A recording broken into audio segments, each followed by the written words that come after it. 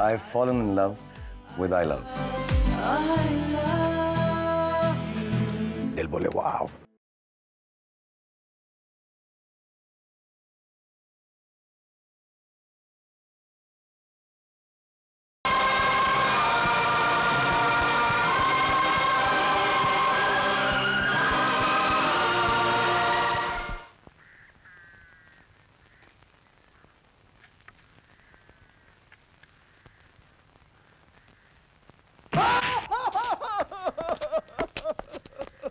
बे मजदूर के बच्चे तुझे मजदूरी ज़्यादा चाहिए। नहीं तो हमारे मालिक के फार्म में काम नहीं करेगा अब आप ही बताइए ना मुनीम जी जौन मजदूरी हमारे बाप दादा के जमाने में मिलत रहा वही मजदूरी आज भी मिलत है। ये महँगाई के जमाने में हम अपने बाल बच्चे का गुजारा कैसे करी? जो मजदूरी हम दे रहे हैं उसी में काम करना होगा। नहीं तो तेरे बाल बच्चे ही नहीं रहेंगे। ये तो ज़बरदस्ती बा अब हमको नहीं पोसाता तो हम नहीं के बच्चे मारो साले को। मारो।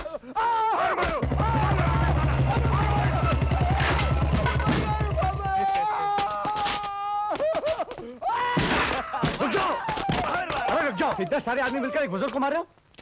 डॉक्टर साहब आप दवाखाने में जाकर लोगों को सुई लगाइए। हमारे मामले में टांग मत अड़ाइए मेरे होते हुए इस गरीब को कोई हाथ नहीं लगा सकता। मारो इसे भी।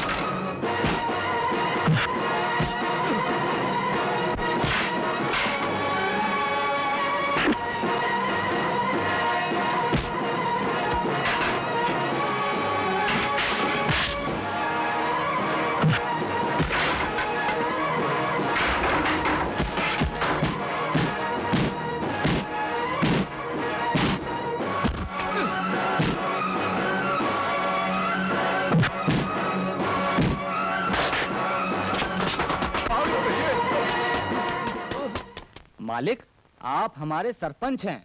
इस गाँव के कानून हैं न्याय हैं धर्म हैं। आपकी इच्छा के बिना यहाँ एक पत्ता भी नहीं हिल सकता है।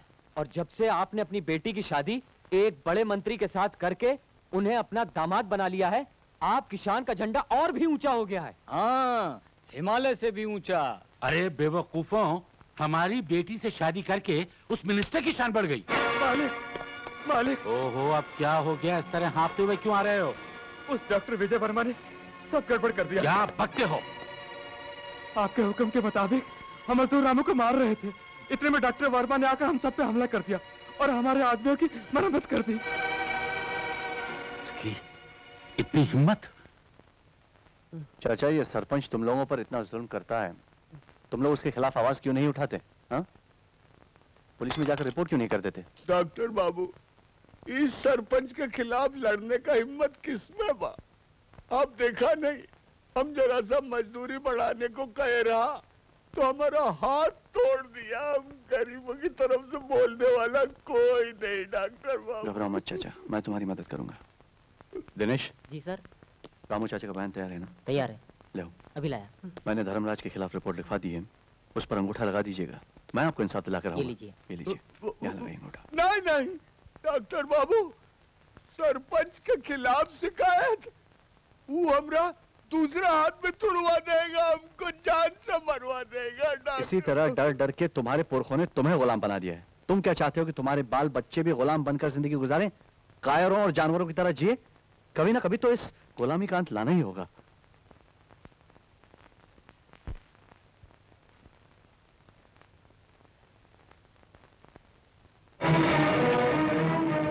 बहुत अच्छे। डॉक्टर बाबू आप यहाँ गाँव वालों का इलाज करने आए हैं। वही करें तो अच्छा रहेगा। इस गाँव वालों की सबसे बड़ी बीमारी है डर और मैं उसी बीमारी का इलाज कर रहा हूँ। हम्म, कागज़ पर अंगूठा लगवा के इन्हें मेरे खिलाफ भड़का के। हम्म। इन्हें इनके अधिकार बता के और इन्हें ये याद दिला के कि हिंदुस्तान को आज़ाद हुए कई साल हो गए और अब ये गुलाम नहीं रहे। देखो डॉक्टर बाबू, जिन लोगों के भाग्य में गुलामी लिखी है, वो तो गुलामी रहेंगे। तुम्हारी भलाई इसी में है कि तुम भी समझदार बच्ची की तरह अपना मुँह बंद रखो और जो चल रहा है उसे चलने दो, क्योंकि तुम इनका भाग्य तो सुधार नहीं सकते। हाँ अपना भाग्य ज़रूर बिगाड़ लोगे। समझे? इसे खुद अपने हाथों से फाड़ देना।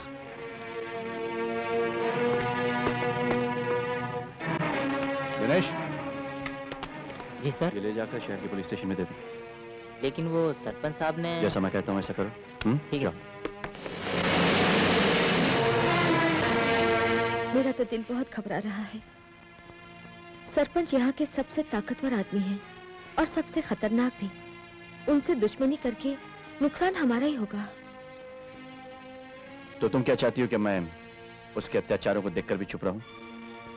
गरीबों पर जो जुल्म हो रहे हैं उन्हें होने दूँ? देखो हम यहाँ गरीबों का इलाज करने आए हैं। यहाँ की राजनीति से हमें क्या मतलब? यही तो हमारे देश की बदकिस्मती है। भले बाज़ार में सबके सामने एक इंसान दूसरे इंसान का खून कर देता है और हम कहते हैं कि इससे हमें क्या मतलब? एक गुंडा किसी की माँ किसी की बेटी किसी की बहन किसी की पत्नी को उठाकर ले जाता है और बलात्कार करता है और हम कहते हैं कि इससे हमें क्या मतलब?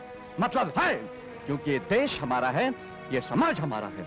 और ये समाज को बिगाड़ने वाले गुंडे और बदमाश ही नहीं बल्कि वो शरीफ इंसान भी है जो सब देखकर चुप खड़े रहते हैं और कहते हैं कि इससे हमें क्या मतलब? लेकिन आप तो जानते हैं सारा गाँव सरपंच से डरता है। कोई आपका साथ नहीं देगा। आप अकेले क्या कर सकते हैं?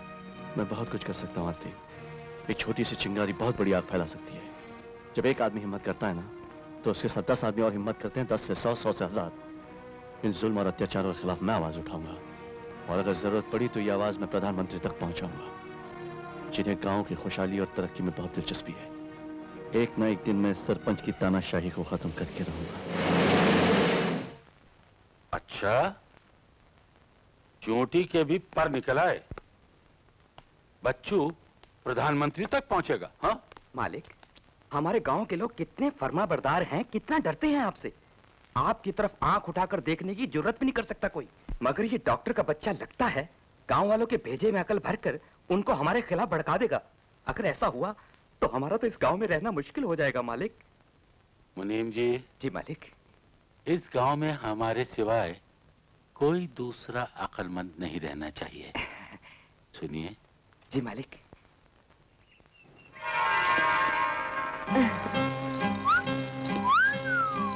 वाओ। क्या बात है? आज एकदम सच धज के प्यारी दुल्हन जैसी लग रही खास बात है। याद नहीं? आज हमारी शादी की सालगिरह। है गॉड आज का दिन मुबारक। बोलो क्या चाहिए? बस सिर्फ़ आशीर्वाद दो कि मैं सारा जीवन तुम्हारी सेवा करती रहूँ। अरे ऐसा घिसा पिटा पुराने किस्म का आशीर्वाद नहीं दूँगा। दूँगा तो एकदम लेटेस्ट आशीर्वाद दूँगा। हम्म। Mummy daddy. मैं इतनी बड़ी यहाँ बैठी हूँ आप मुझसे आशीर्वाद नहीं लेंगे? इधर आइए। अब भी आए बेटे। दादी दादी माँ आशीर्वाद दो। ये सब तो पुरानी स्टाइल का आशीर्वाद है। मैं भी आपको नई स्टाइल का आशीर्वाद दूँगी। I love you, my darling.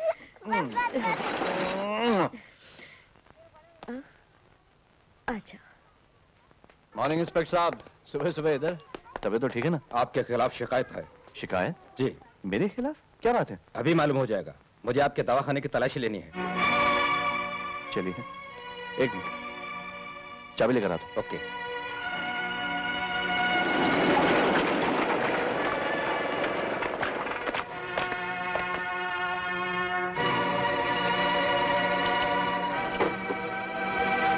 आइए। शौक से चेक कर लीजिए। चलो पूरे दवाखाने की तलाश लो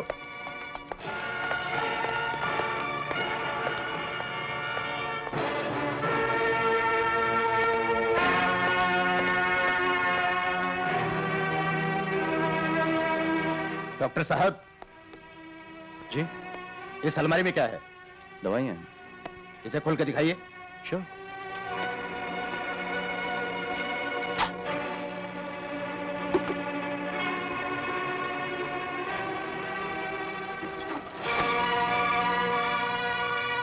डॉक्टर साहब।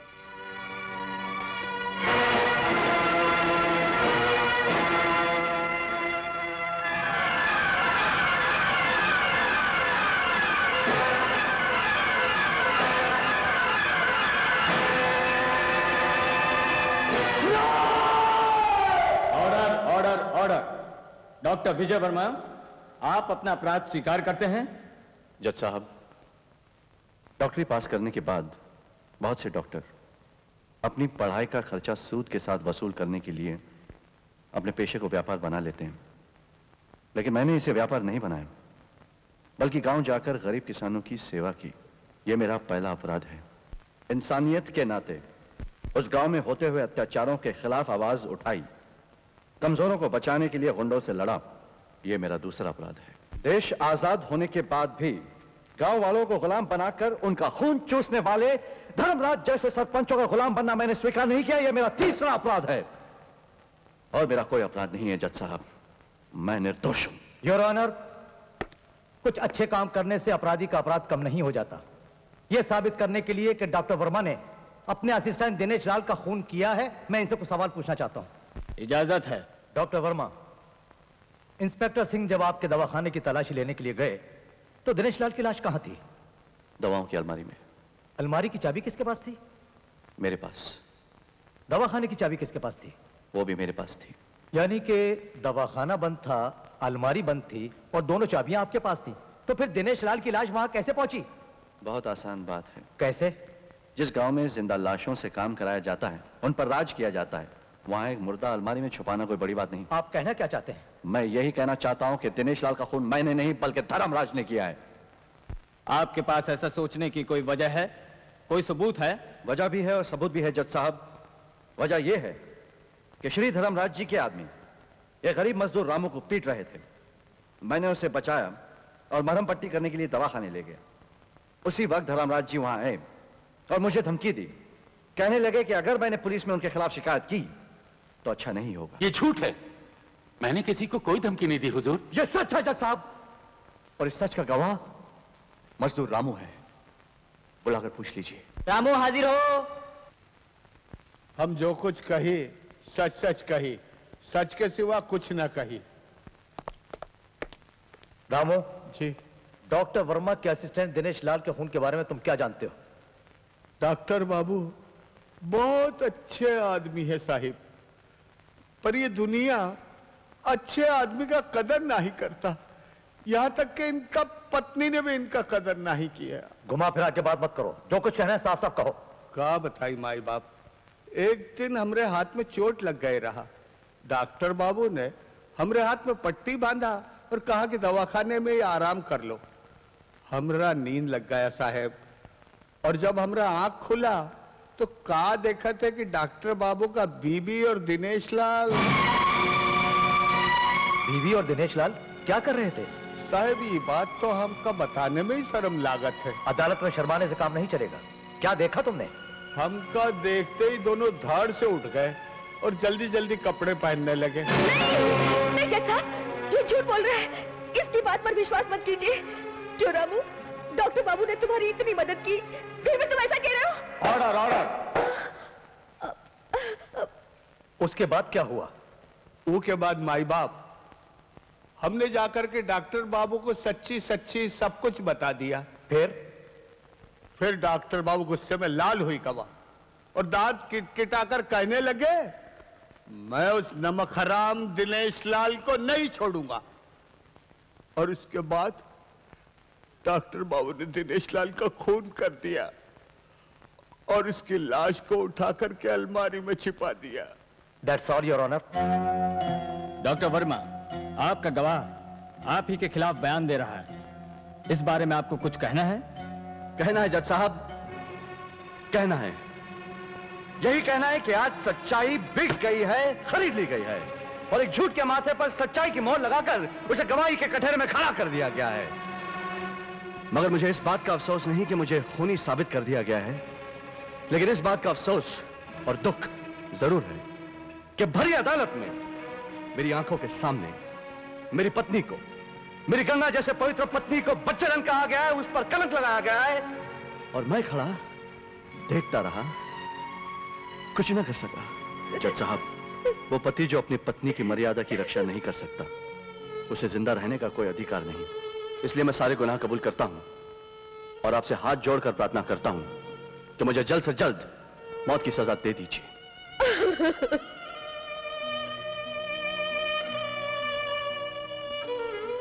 गवाहों के बयानात से यह साबित हो चुका है कि डॉक्टर विजय वर्मा ने दिनेश लाल का खून किया। लेकिन चूँकि यह खून वक्ती जज्बात के तहत हुआ है, अदालत डॉक्टर विजय को सात साल की कड़ी सजा सुनाती है। भाइयों और बहनों, जैसा कि आप लोग जानते हैं, डॉक्टर की बीवी आरती को अदालत ने बच्चलन और वेश्या ठहराया है। अगर इसे यहाँ रखा गया तो ये इस गाँव को गंदा कर देगी और यहाँ के भोले भाले लोगों को बिगाड़ देगी। क्या आप चाहते हैं कि इसे इस गाँव में रहने दिया जाए? बोलिए पंचों और जनता की क्या राय है? धर्मराज इससे पहले कभी हम लोगों ने अपनी राय दी है बोला? सारा फैसला तुम ही करते हो। हम तो यहाँ हाँ कहने के लिए भी अपना मुँह कभी नहीं खोलते हैं।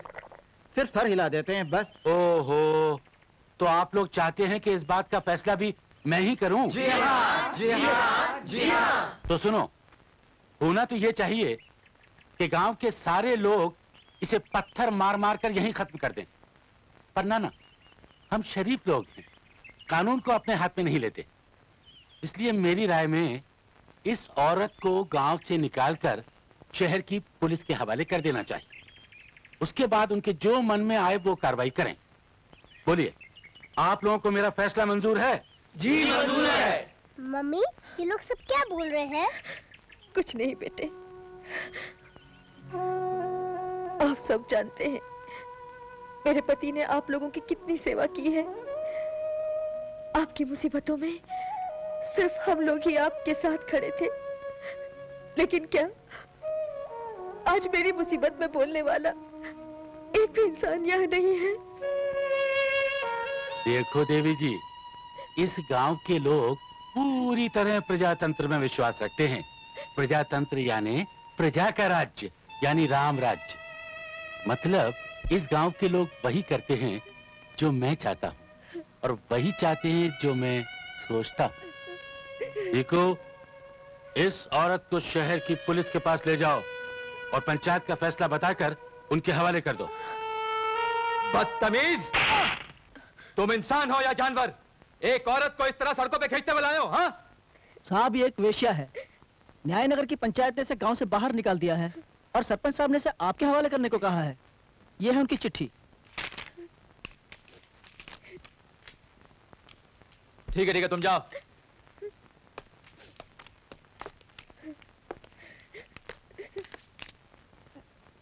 शक्ल से तो तुम शरीफ लगती हो और काम ऐसे करती हो। नहीं इंस्पेक्टर साहब मैंने कोई गलत काम नहीं किया है। तुमने क्या किया है और क्या नहीं किया? इससे मेरा कोई वास्ता नहीं। पंचायत ने तुम्हें दोषी ठहरा कर मेरे पास भेजा है और तुम्हारे खिलाफ कानूनी कार्रवाई करना मेरा फ़र्ज़ बनता है। कल तुम्हें अदालत में ले जाया जाएगा और वही फैसला होगा कि तुम दोषी हो या नहीं। हवलदार। जी साहब इसे मैं अंदर डाल दूँ गुंडों के साथ।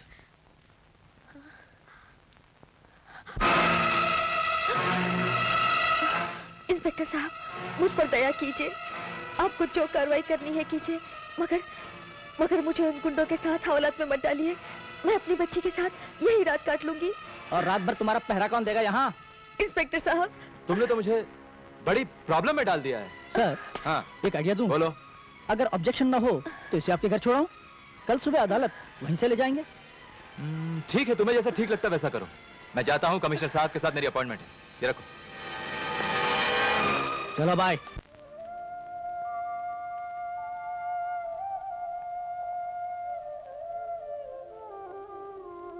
सच कहता हूँ, मुझे तुम्हारी हालत पे तरस भी आ रहा है और दुख भी हो रहा है।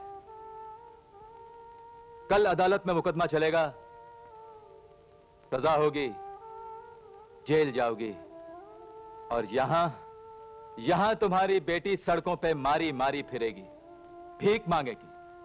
और वहाँ वहाँ तुम्हारी सारी ज़िंदगी बर्बाद हो जाएगी। क्या ये सब तुम्हें अच्छा लगेगा? और मैं कर भी क्या सकती हूँ? तुम्हारे जैसी औरत अगर चाहे तो सब कुछ कर सकती है। देखो भगवान ने जो कुछ भी दिया है ना उसे बर्बाद नहीं करना चाहिए। उसका पूरा पूरा फ़ायदा उठाने में ही समझदारी है। मैं समझी नहीं आपका मतलब। अरे मेरी जान इतनी भोली भी मत बनो। मेरा मतलब है कि अपनी खूबसूरती और जवानी का पूरा पूरा फ़ायदा उठाओ। जो पेशा वहाँ गाँव में करती थी वो यहाँ शहर में भी करो। लेकिन जरा स्टाइल से जरा बन ठंग के। इंस्पेक्टर साहब। अरे घबराओ नहीं। मैं तुम्हारे साथ हूँ। एक से एक मालदार आसामी लाना मेरा काम। और जो भी मिलेगा ना उसे आधा आधा बांट लेंगे। छी! तुम पुलिस ऑफिसर हो या औरतों के दलाल? मैं टू इन वन हूँ जाने मन अगर पुलिस वाला बन गया तो कल ही जेल जाकर अपनी किस्मत पे रोगी। और अगर दलाल बन गया तो कुछ ही दिनों में मोटरों में घूमोगी बंगलों में रहोगी और ऐश करोगी। ऐसा करते हैं कि कल ही भगवान का नाम लेकर अपने धंधे का श्री गणेश कर देते हैं। क्यों? ठीक है ना? क्यों है तुझ पर? गंदे कामों में भगवान का नाम लेता है पुलिस की नौकरी को बदनाम करता है। अरे ऐसा ही माल कमाने का शौक चढ़ा है तो छोड़ दे ये नौकरी और जाकर बिठा दे अपनी माँ बहन को बाज़ार में। मैं तुझे प्यार से समझा रहा हूँ और तू सर पे चढ़ती जा रही। तेरे धंधे की शुरुआत तो आज मैं ही कर देता हूँ।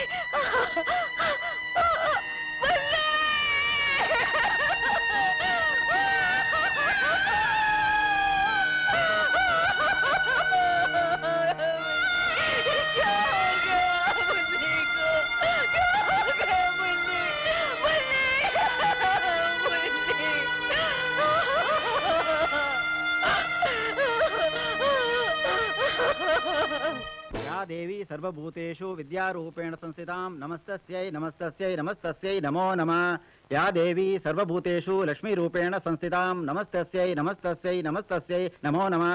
या देवी सर्वभूतेषु शक्तिरूपेण संस्थितां नमस्तस्यै नमस्तस्यै नमो नमः। पंडित जी ये संस्कृत में भगवान से क्या कह रहे हो? यही कि हमारे साथ सदा मंत्री बने रहे। पंडित जी मैंने तो पूजा मुख्यमंत्री बनने के लिए करवाई है। जी हाँ लेकिन मुख्यमंत्री बनने के लिए इस मंत्री पद पर टिके रहना बहुत ज़रूरी है ना? जय हो पंडित जी ठीक कह रहे हैं। वक्त का कुछ पता नहीं चलता साहब। रात को सोए तो मंत्री थे और सुबह उठे तो मालूम पड़ा कि संतरी भी नहीं रहे हैं। पूजा के वक्त भी राजनीति की बातें कर रहे पंडित जी आप आरती शुरू कीजिए। जी। ओम कर्पूर गौरम करुणावतारम संसार सारम एक लड़की मंत्री साहब से मिलने आई है लड़की? पंडित जी अचानक एक सरकारी काम आ गया है मैं चलता हूँ। मगर भगवान की आरती तो लेते जाइए। भगवान की आरती कहीं भाग थोड़ी जाएगी हैं? और फिर सरकारी काम जो है। सुनो। जी। लड़की खूबसूरत जी, वो- जी। जवान है। आ जी। क्या उम्र होगी यही कोई पंद्रह सोलह साल। तुम्हें कैसे मालूम? तुमने उसे देखा है? देखने की क्या ज़रूरत है सरकार? जो लड़की आपसे मिलने आई होगी वो तो सुंदर और कमसिन होगी। जय हो जय हो मंत्री जी। क्या बात है? आँखों में आँसू और गोद में बच्ची को लिए हमारे पास क्यों आई हो? ये बच्ची नहीं है साहब। बच्ची की लाश है। अरे रे रे रे। लेकिन हुआ क्या ऐसे?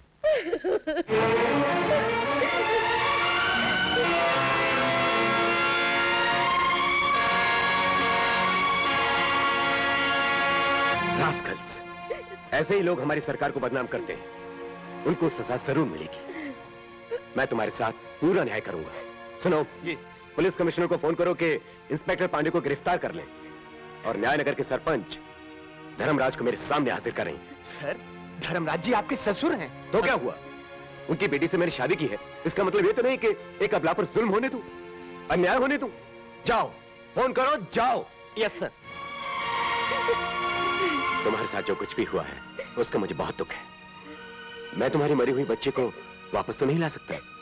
लेकिन मैं ये साबित करके रहूँगा कि तुम्हारे पति निर्दोष है। उन्हें जेल से छुड़ाना मेरा कर्तव्य है। लेकिन इस बच्ची को हाथों में लिए कब तक ठोकरे खाती रहोगे? जाओ पहले इस बच्ची को धरती की गोद में सुला दो। पुलिस कमिश्नर साहब को फ़ोन कर दिया। वेरी गुड बच्ची के अंतिम संस्कार के लिए इनके साथ एक सिक्योरिटी गार्ड भेज देना और इनके लिए पूरा इंतज़ाम कर देना। समझ गए ना? समझ गया सर। ये ले कनकैया। खा ले। चचा। क्या है बेटा? ये ले चचा लड्डू खा। क्या बात है डॉक्टर बाबू? किस बात की मिठाई खिला रहे हो? आज मेरी नन्नी मुन्नी प्यारी सी बच्ची का जन्मदिन है अभी भी खाइए। मुबारक अभी तुम बहुत खुश नज़र आ रहे हो। भगवान तुम्हारी बेटी की बहुत लंबी उम्र करे।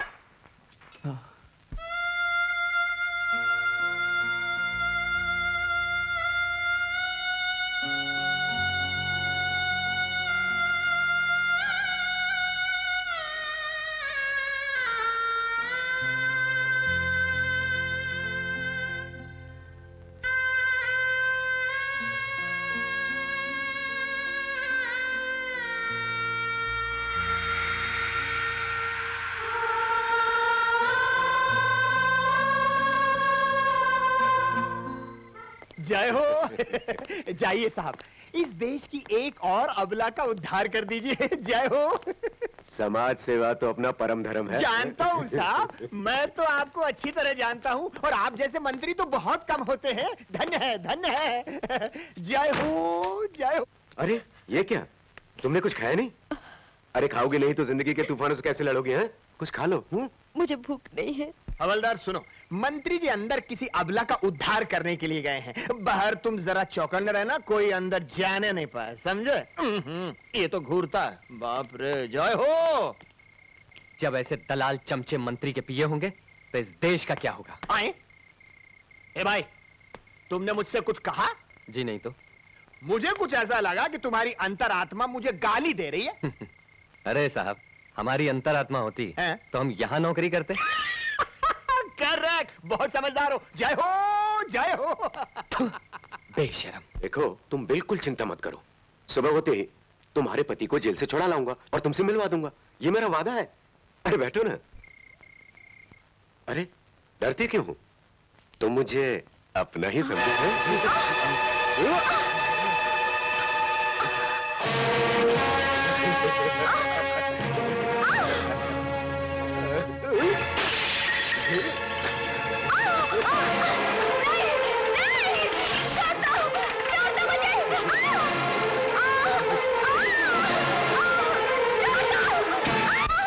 देखा?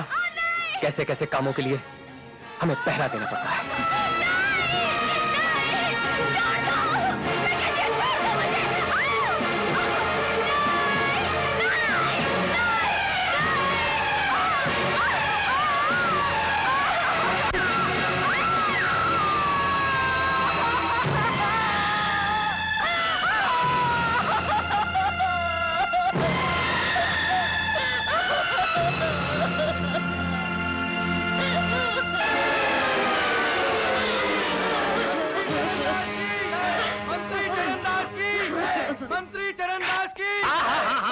धन्य हो धन्य हो धन्य हो धन्य हो। अरे इतने लोगों का यहाँ एक साथ कैसे आना हुआ?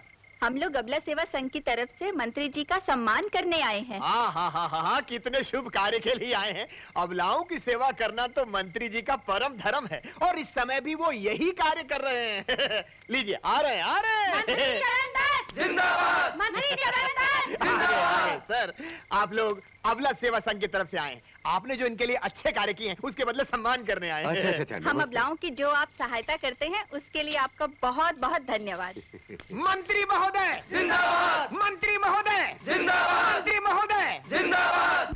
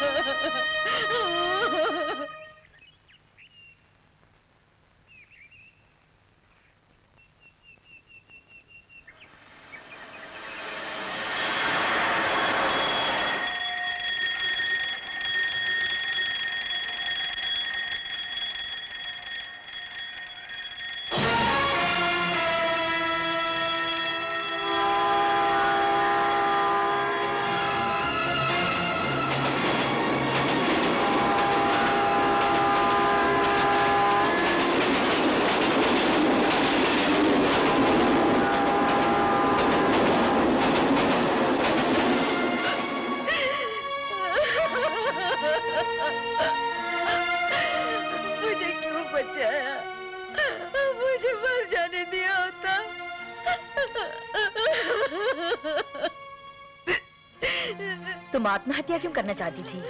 जानती नहीं ये पाप है? इस दुनिया ने हर तरह से मुझे सताया। मेरे शरीर को गंदा किया और मेरी बेटी की हत्या की है। मुझ जैसी औरत के लिए अपने माथे का कलंक मिटाने का और इस पाप की दुनिया से मुक्ति पाने का यही एक रास्ता बच गया था। तुम क्या समझती हो? अपनी जान देने से माथे पर लगा कलंक मिट जाएगा? जब मैं ही नहीं रहूँगी तो कलंक कहाँ रहेगा?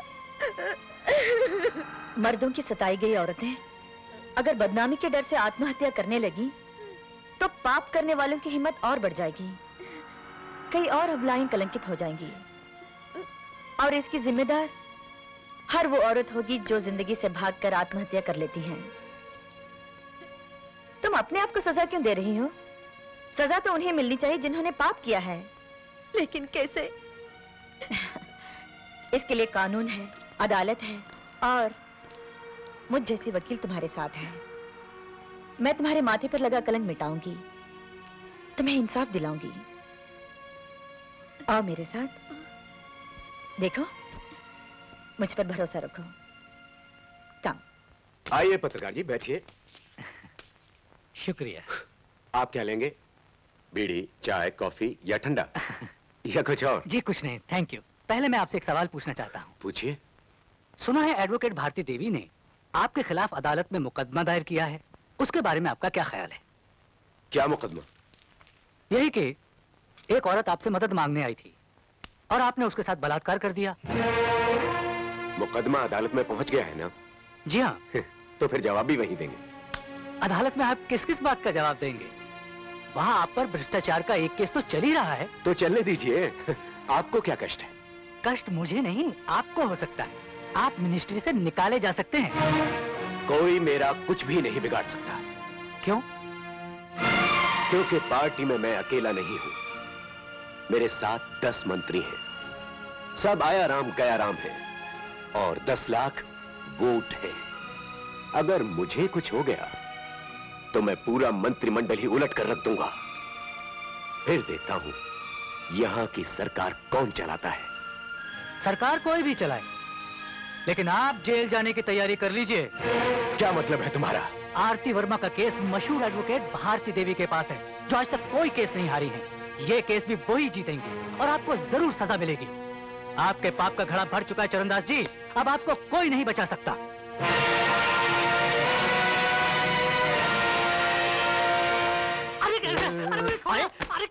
जय हो। इंटरव्यू लेने आया था। हमारे मंत्री महोदय का। ले ले जम के ले। और ले बेटा पीट। अबे पीट।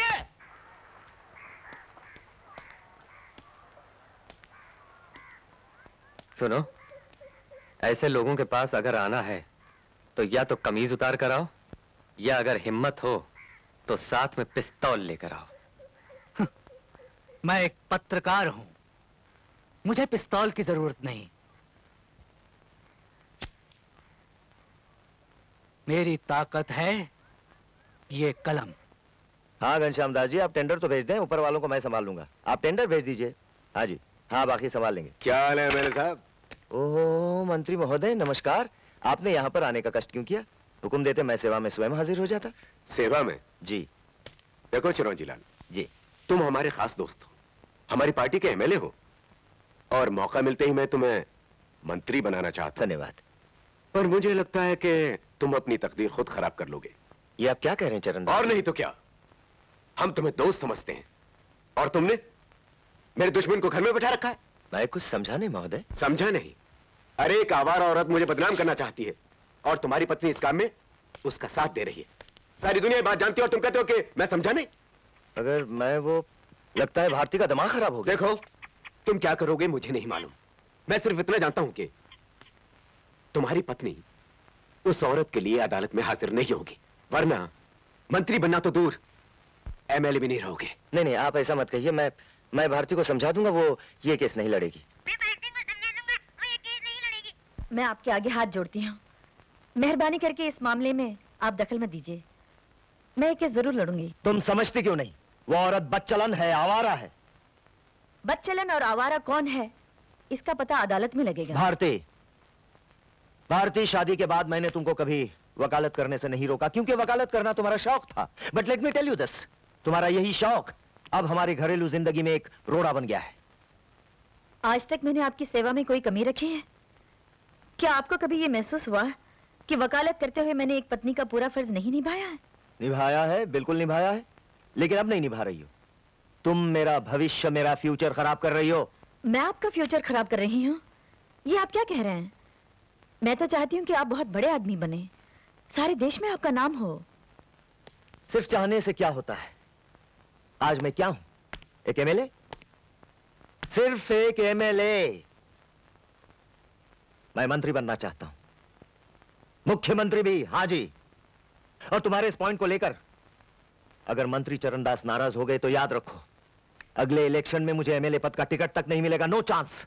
इसलिए मेहरबानी करके उस मामूली औरत के लिए तुम उनसे दुश्मनी मत लो।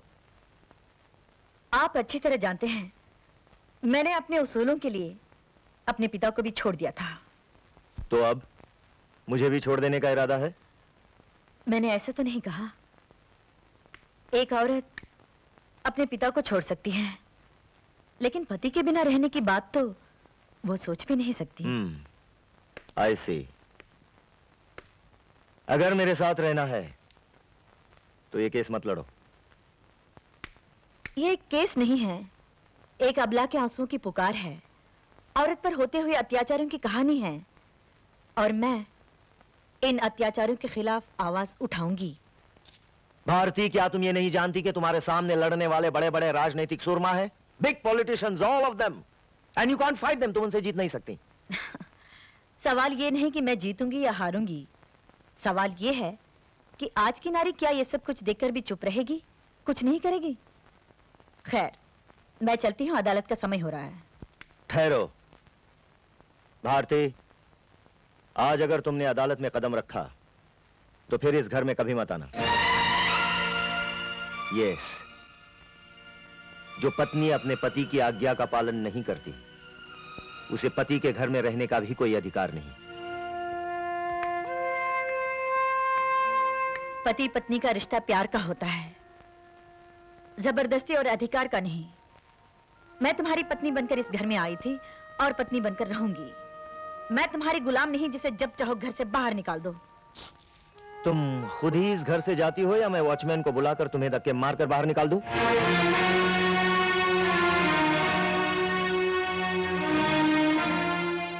कोई ज़रूरत नहीं। मैं खुद ही चली जाती हूँ। That's better. लेकिन इतना याद रखना तुम पछताओगे और खुद मुझे लेने आओगे।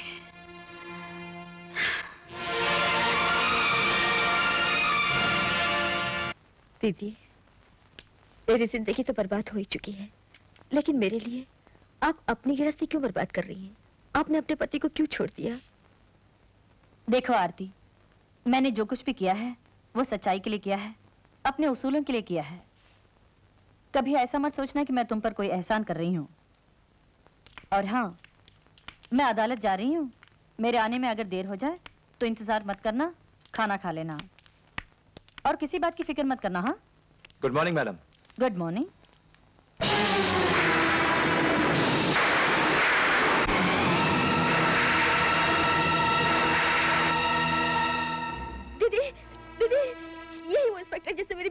था उसकी जान ली थी। दीदी इसे छोड़ना नहीं छोड़ना नहीं दीदी। डरो मत मैं इससे बात करती हूँ। कहिए कैसे आना हुआ? यहाँ पर कोई आरती वर्मा नाम की औरत रहती है? ओ आप आरती वर्मा को नहीं जानते हैं ना? यही है आरती वर्मा। कहिए आज आपका इनसे क्या काम है? इसके नाम ये वारंट है। मैं इसे गिरफ़्तार करने आया हूँ हो।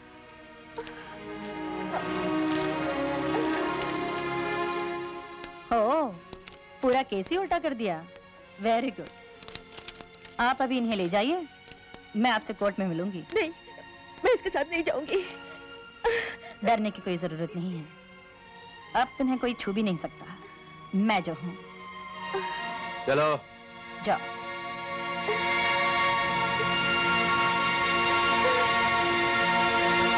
अरे ये क्या हो रहा है?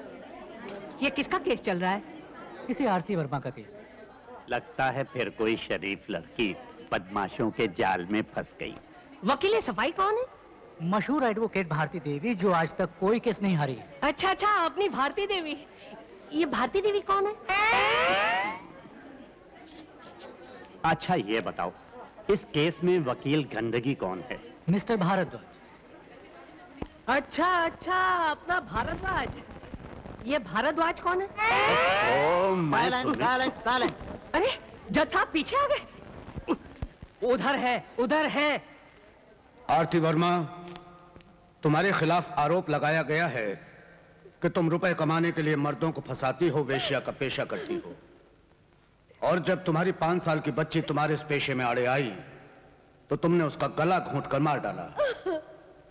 इन दोनों अपराधों के लिए तुम अपने आप को दोषी मानती हो या नहीं? ये अदालत है।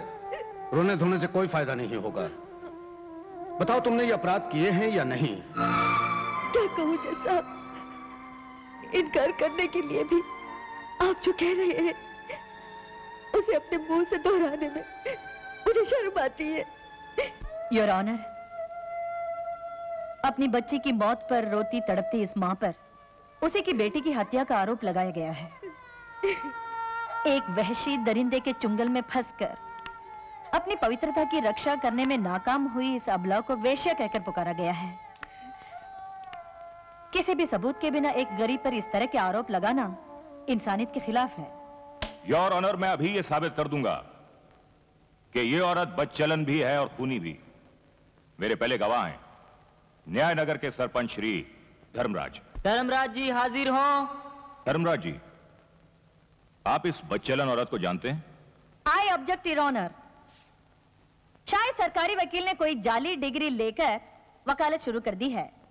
इसीलिए इन्हें इतना भी पता नहीं कि जब तक आरोपी पर अपराध साबित नहीं हो जाता वो निर्दोष है। और उनका नाम तमीज से लेना चाहिए। इनका नाम है Shrimati Aarti Verma. Objection sustain thank you हाँ तो धर्मराज जी आपकी कभी श्रीमती आरती वर्मा से मुलाकात हुई है? मेरा मतलब है आप इन्हें जानते हैं? जी हाँ अच्छी तरह जानता हूँ। कैसे? हुजूर मैं न्यायनगर का सरपंच हूँ। वहाँ की पूरी पंचायत ने इसे बच्चलन और वेश्या करार देकर शहर की पुलिस के हवाले कर दिया था। दैट्स ऑल योर ऑनर आप इनसे कुछ पूछना चाहती हैं तो पूछ लीजिए। नो क्वेश्चंस आप जा सकते हैं। योर ऑनर मेरे अगले गवाह हैं। सब इंस्पेक्टर सी के पांडे। मैं भगवान को साक्षी मानकर कसम खाता हूँ कि जो भी कहूँगा सच कहूँगा। सच के सिवा कुछ नहीं कहूँगा। हर बार गीता की कसम खाता है और हर बार कहता है कि मैं सच के सिवा कुछ नहीं कहूँगा। और कहता सच के सिवा बाकी सब कुछ है। इंस्पेक्टर पांडे आप श्रीमती आरती वर्मा को जानते हैं? जी हाँ। आप इनसे पहली मर्तबा कहाँ मिले थे? जी पुलिस स्टेशन में जहाँ न्याय नगर की पंचायत का आदमी इसे मेरे हवाले कर गया था। हम्म तो फिर आपने क्या किया? जी मैंने इसे समझाया कि वेश्या का काम अच्छा नहीं है और चेतावनी देकर वापस भेज दिया कि आगे से ऐसा काम नहीं करना। हम्म।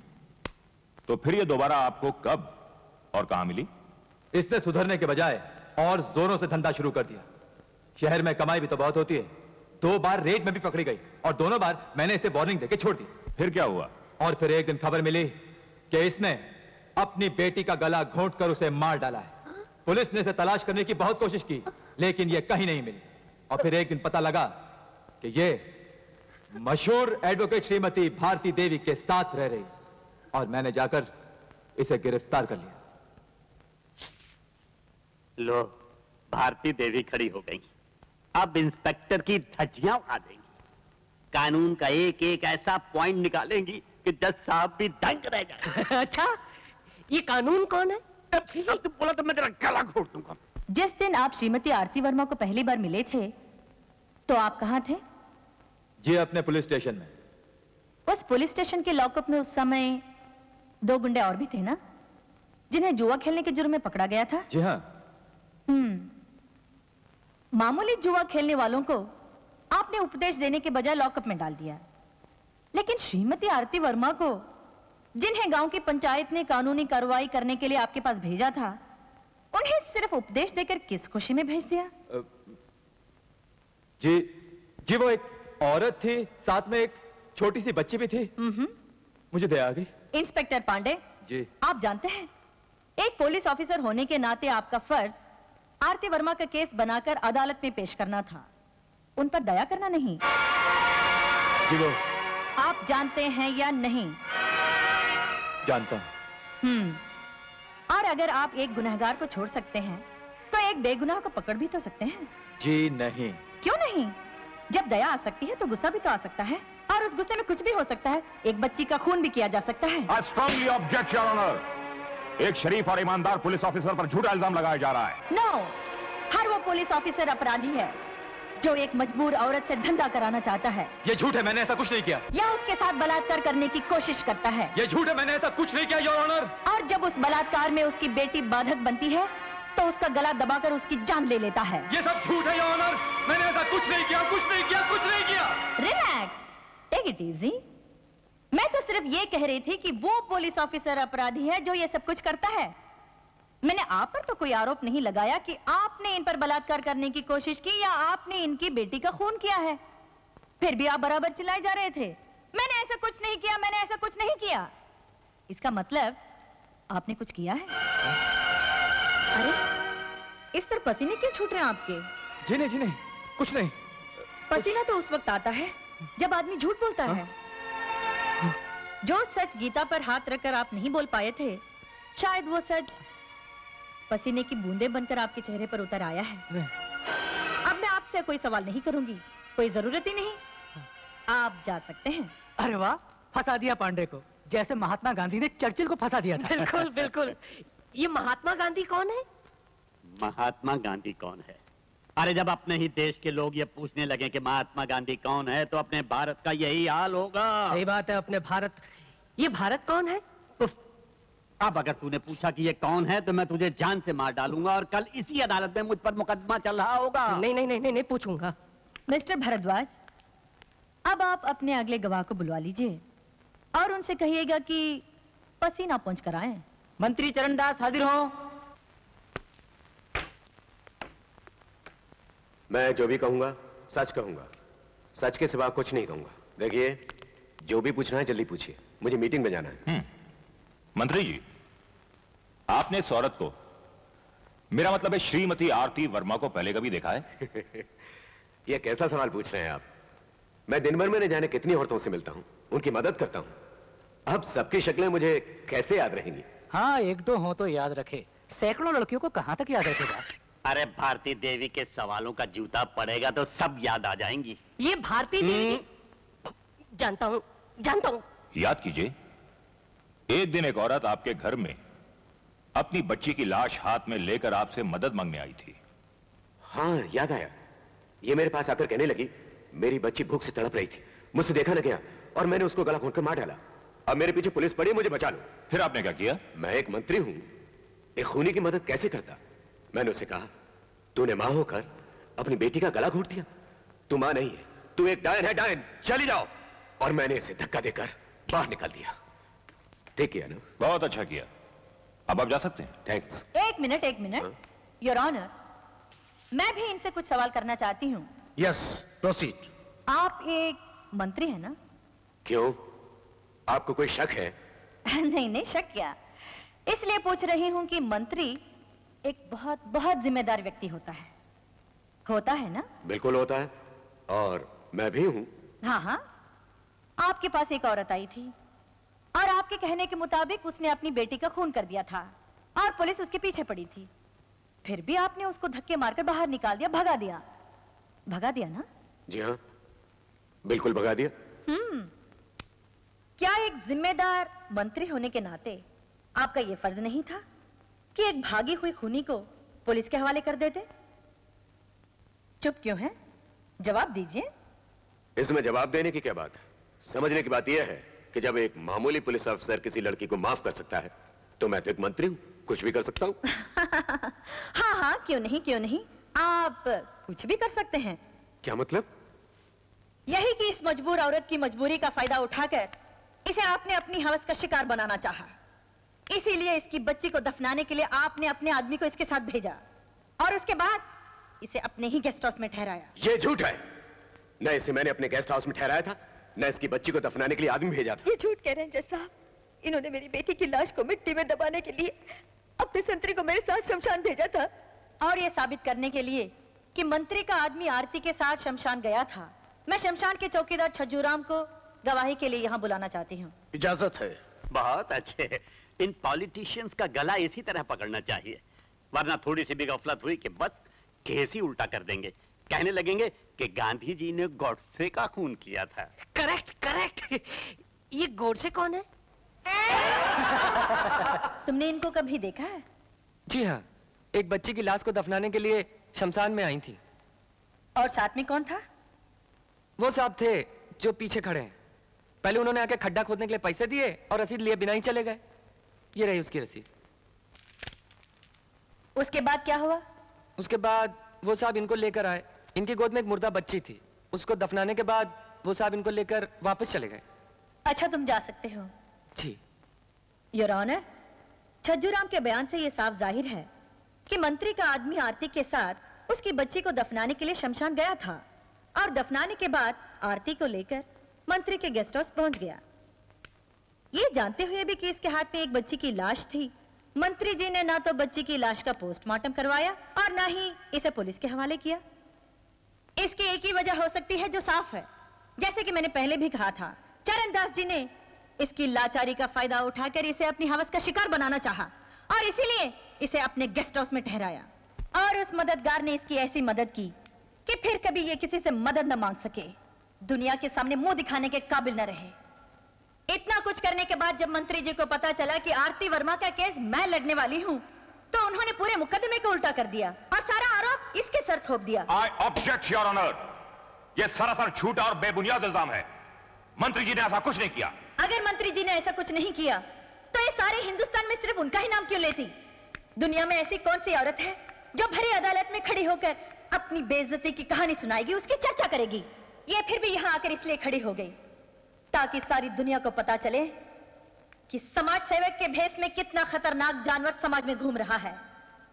मेरी अदालत से यही दरख्वास्त है कि मंत्री चरणदास जैसे बहुरूपियों को कड़ी से कड़ी सजा दी जाए और आरती वर्मा को बाइज्जत रिहा कर दिया जाए। That's all your honour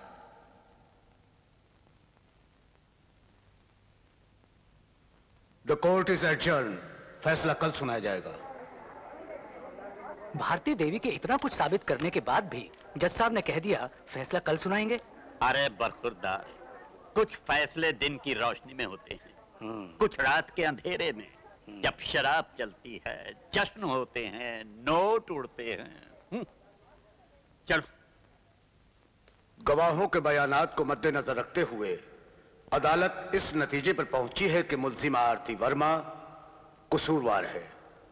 लिहाजा अदालत मुलजिमा आरती वर्मा को एक पुलिस अफसर और एक मंत्री को बदनाम करने वेश्या का पेशा करने और अपनी बेटी का कत्ल करने के जुर्म में सात साल कैद बामुशक्कत की सजा सुनाती है।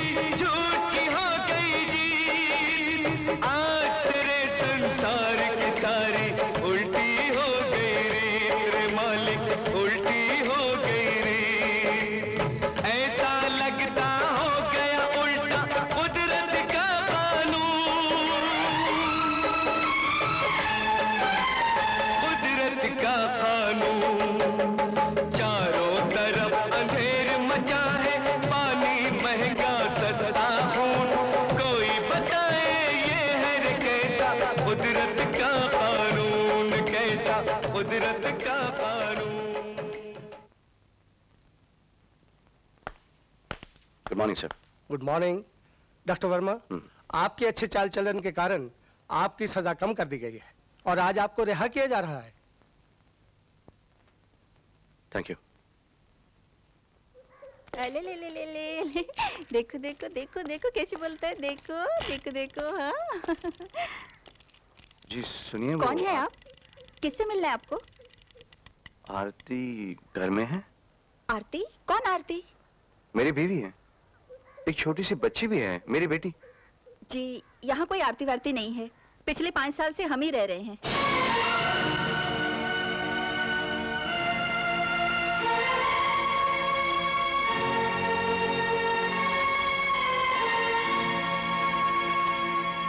डॉक्टर बाबू नमस्कार। नमस्ते आप कब आए? जी मैं भी आया। क्या बता सकते हैं कि मेरी बीवी और बच्ची कहाँ है? क्या बताओ बेटा? सरपंच धर्मराज ने तुम्हारी बीवी के साथ बड़ा अन्याय किया है। क्या किया?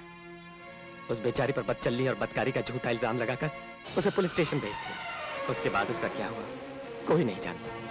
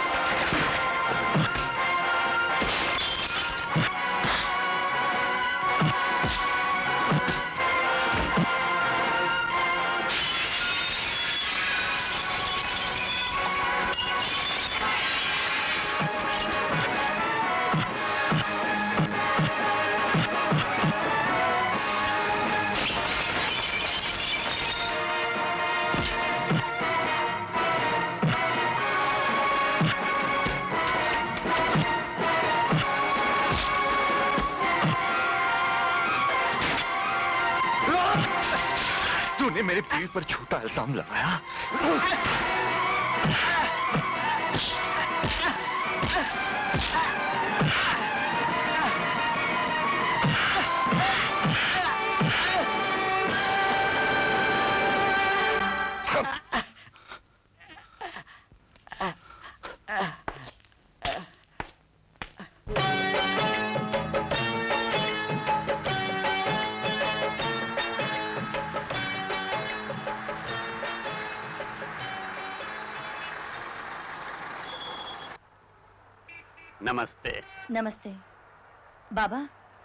अक्सर मैं आपको देखती हूँ।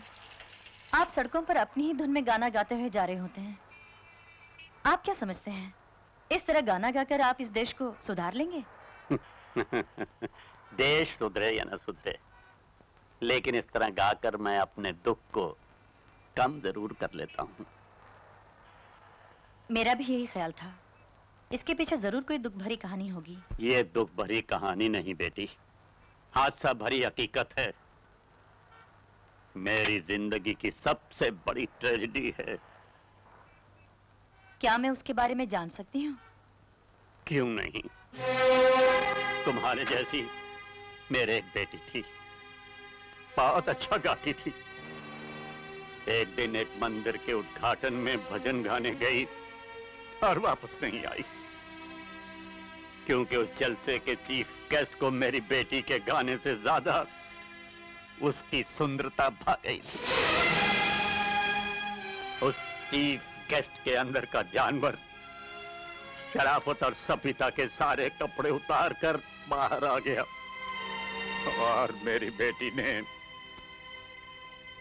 आत्महत्या कर ली। आप मुझे बताइए वो जानवर कौन है? मैं उसे अदालत में खड़ा करके सजा दिलाऊँगी। इस पाप की सजा सिर्फ़ मौत है। मैं चाहता तो खुद उसका खून कर सकता था लेकिन लेकिन क्या? लेकिन मैंने उसका खून सिर्फ़ इसलिए नहीं किया कि उसकी मौत के बाद मेरी एक और बेटी जो हमेशा दूसरों का भला करती रहती है वो विधवा हो जाती।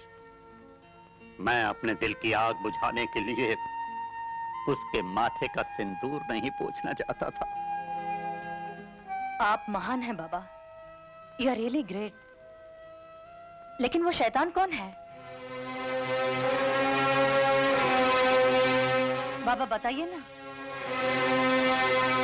तुम्हारा पति। आइए मंत्री जी कितनी जनता खड़ी आपके स्वागत के लिए।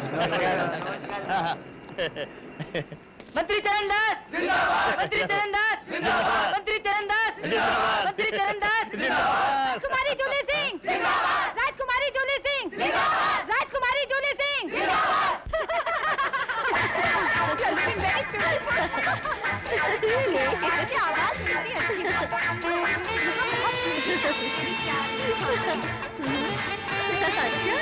अभी तो यहाँ रहना पड़ेगा आपको ओके अच्छा थैंक यू कौन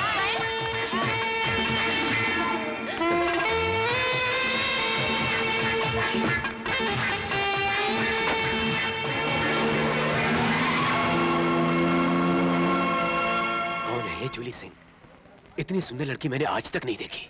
16 साल से 25 साल की उम्र की हर लड़की के बारे में आपकी यही राय होती है मंत्री जी। हाँ, मेरा मतलब सुंदर है अति सुंदर है। जूली सिंह ये लड़की हिंदुस्तानी है विलायती मुझे तो दोनों का संगम लगता है मिलावट। ओह लेकिन अब ये सोचो कि उससे हमारा संगम कैसे हो। कार रेडी सर ओ आते आते आ रहे अरे खड़े क्यों हो? उसका पीछा करो जाओ। इस वक्त अपनी इज़्ज़त को बदनाम होने से बचाइए सब लोग खड़े हैं। बाद में पता कर लूँगा। ठीक है पक्का। जय हो जय हो। आइए आइए आइए। नमस्ते जी। जय हो जय हो। बैठिए पधारिए पधारिए। हाँ जी कहिए कैसे आना हुआ? साहब लंदन की एक बहुत बड़ी सिंगर जिन्होंने हिंदुस्तानी और अंग्रेज़ी गाने गाकर विदेशों में धूम मचा रखी है वो पहली बार भारत आई हैं। अच्छा। और सबसे पहला प्रोग्राम हमारी ब्रांड एसोसिएशन के चैरिटी शो के लिए कर रही हैं। अच्छा। अगर मंत्री साहब हमारे प्रोग्राम के चीफ गेस्ट बनना स्वीकार कर ले तो हमारे प्रोग्राम में चार चाँद लग जाएँगे। अरे कैसे चार चाँद लग जाएँगे? मिनिस्टर साहब के पास कम से कम तीन महीने के लिए कोई शो वो अटेंड करने का टाइम नहीं है। ऐसा मत कहिए साहब। आप चाहें तो इस नेक काम के लिए मिनिस्टर साहब का थोड़ा सा कीमती वक्त ज़रूर निकाल सकते हैं। और राजकुमारी जूली के लिए भी। ये बड़े गौरव की बात होगी। ये ये जूली कौन है? जूली सिंह जिसको एयरपोर्ट पर देखकर आप पानी पानी हो गए थे। तो फिर मना क्यों कर रहे हो? वो डायरी में टाइम नहीं है। देखिए मैं किसी अच्छी लड़की के लिए ना नहीं कह सकता। जी? मतलब किसी अच्छे काम के लिए मना नहीं कर सकते। मंत्री जी जय हो। ए, प्रोग्राम कब है? अप्रैल फ़र्स्ट को। चलते कहा मंत्री जी? मेकअप रूम में। मेकअप रूम मंत्री जी आप ये बताइए हमारी कॉलोनी के बारे में आपने जो सोचा था वो उसका बाद क्या वो बाद में अभी जाने दीजिए। अच्छा चलते नमस्ते नमस्ते जी। नमस्ते जी नमस्कार। मैं राजकुमारी से मिलना चाहता हूँ। राजकुमारी? मंत्री जी हमारे मोहल्ले में अभी तक पानी की वो बाद में मंत्री जी को परेशान न करें। प्लीज़ चलिए अच्छा, है, नमस्ते, नमस्ते नमस्ते। चलिए साहब चलिए। मैं भी मिलना चाहता हूँ। अरे कैसी बात कर रहे हैं आप? ये पब्लिक प्लेस है चारों तरफ़ वीआईपीज हैं सिक्योरिटी पुलिस है। आपके बारे में क्या सोचेंगे? मंत्री जी मेरी एक बात मानेंगे? क्या? आज रात इसको छोड़ दीजिए। कल सुबह मैं पता लगा लूँगा इसके घर पहुँच जाऊँगा और आपका मामला जमाने की कोशिश करूँगा। कोशिश? कोशिश मतलब जमा दूँगा। इस वक्त चलिए ये पब्लिक प्लेस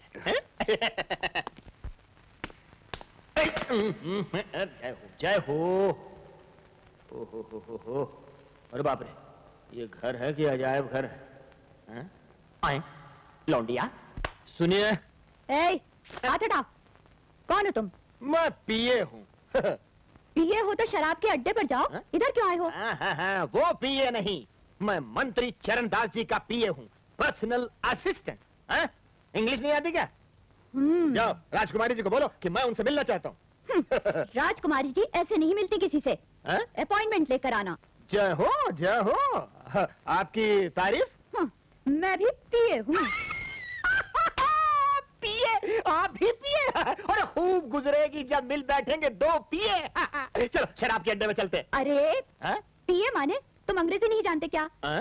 पीए माने पर्सनल असिस्टेंट पीए ओ पीए पीए पीए पीए मिलकर पापा। पापा? नहीं समझी अरे जब हम दोनों मिल जाएँगे तो मैं पापा तुम मम्मी और अपन के पास आएगा पप्पू। नहीं समझी! अच्छा। तो आपको पप्पू चाहिए। ठहरो जी रीटा। रीटा नहीं पप्पू पप्पू। हाँ, रीटा? आता है, इनको कुआ चाहिए। जरा इनको कुआ करा दो। ओ मेरी जलेबी रीटा। बोल दे इस घर को टाटा और गूंद दे मेरे घर का आटा। ओ मेरी सपनों की रानी कब आएगी सपनों की रानी?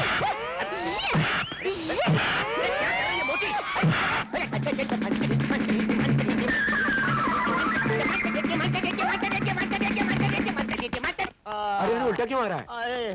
तेरे थोबड़ो क्या हुआ? बहुत पी लिया क्या? अरे सरकार देसी विलायती ठर्रा आज तक जितनी पीती सब उतर गई इसलिए उल्टे पाँव चला आ रहा हूँ।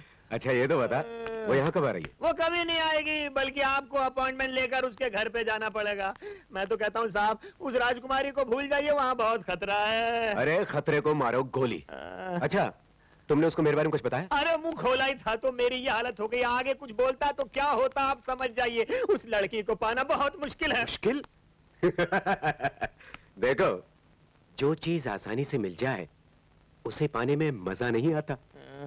अरे मज़ा तो उस चीज़ में आता है जो मुश्किल से मिलती है। मैं उसे पाकर रहूँगा। सुनो आ, कल खुद मैं उससे मिलने जा रहा हूँ क्या?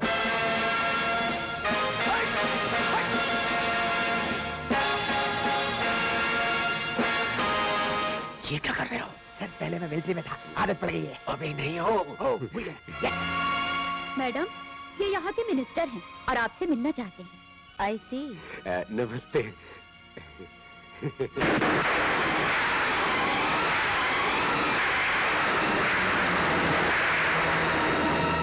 इधर का मिनिस्टर क्या ऐसा कपड़ा पहनता है? ये लूज शर्ट ये loose pyjama and what is that ये कौन सा सिगरेट स्मोक करता है? मैडम ये सिगरेट नहीं है ये बीड़ी है लोकल ब्रांड बंदर छाप बीड़ी मंकी बिज़नेस छी छी छी छी छी मिनिस्टर होके बीड़ी स्मोक करता है? अरे अच्छा सिगरेट स्मोक करो अच्छा कपड़ा पहनो ऐसा कपड़ा हमारा नौकर भी नहीं पहनता है। मैडम आपका मेरे कपड़ों के बारे में क्या ख्याल है? ये टाई ये तुम्हारा फिर भी ठीक है। मैडम मेरा नाम मैडम दिल्ली से फ़ोन है आपके लिए। हेलो ओह मिनिस्टर साहब गुड मॉर्निंग गुड मॉर्निंग आप कैसा है? अरे यहाँ मंत्री का फूल सर रहे के खिसक ले? रहते हैं। जो होगा देखा जाएगा मेरा क्या है? हम इधर एकदम ठीक है। ओह no no no problem at all कोई प्रॉब्लम होगा तो हम आपको टेलीफोन करेगा। आप आ जाना ओके थैंक यू ये तो पूरी दुनिया को जेब में रखे हुए है। इससे सावधान रहना पड़ेगा मंत्री जी। I know yes you were saying something हाँ। मेरा नाम मैडम यस लंदन से call hello yes What? The ship? Oh no, that means a loss of about three crores of rupees. Uh, meet the foreign minister's secretary, Mr. Jackson. Uh, you talk to him. He'll get the compensation and do the needful, okay? Thank you. Yes, What can I do for you? Uh, जी मेरा नाम चरणदास यहाँ के माननीय मंत्री महोदय। और मैं आपसे मिलना चाहता था। मैडम मैडम आपका रोमियो कहीं दिखाई नहीं दे रहा। What? हाँ सारे घर में ढूंढ लिया कहीं भी नहीं है। तुम लोग घर में क्या करता रहता है? एक एक को पाँच हज़ार डॉलर सैलरी भी देता है। और तुम लोग रोमियो को संभाल नहीं सकता oh, shit! Ow! How can I live without Romeo? I just can't! Oh, please, आप लोग सब get out! Get out!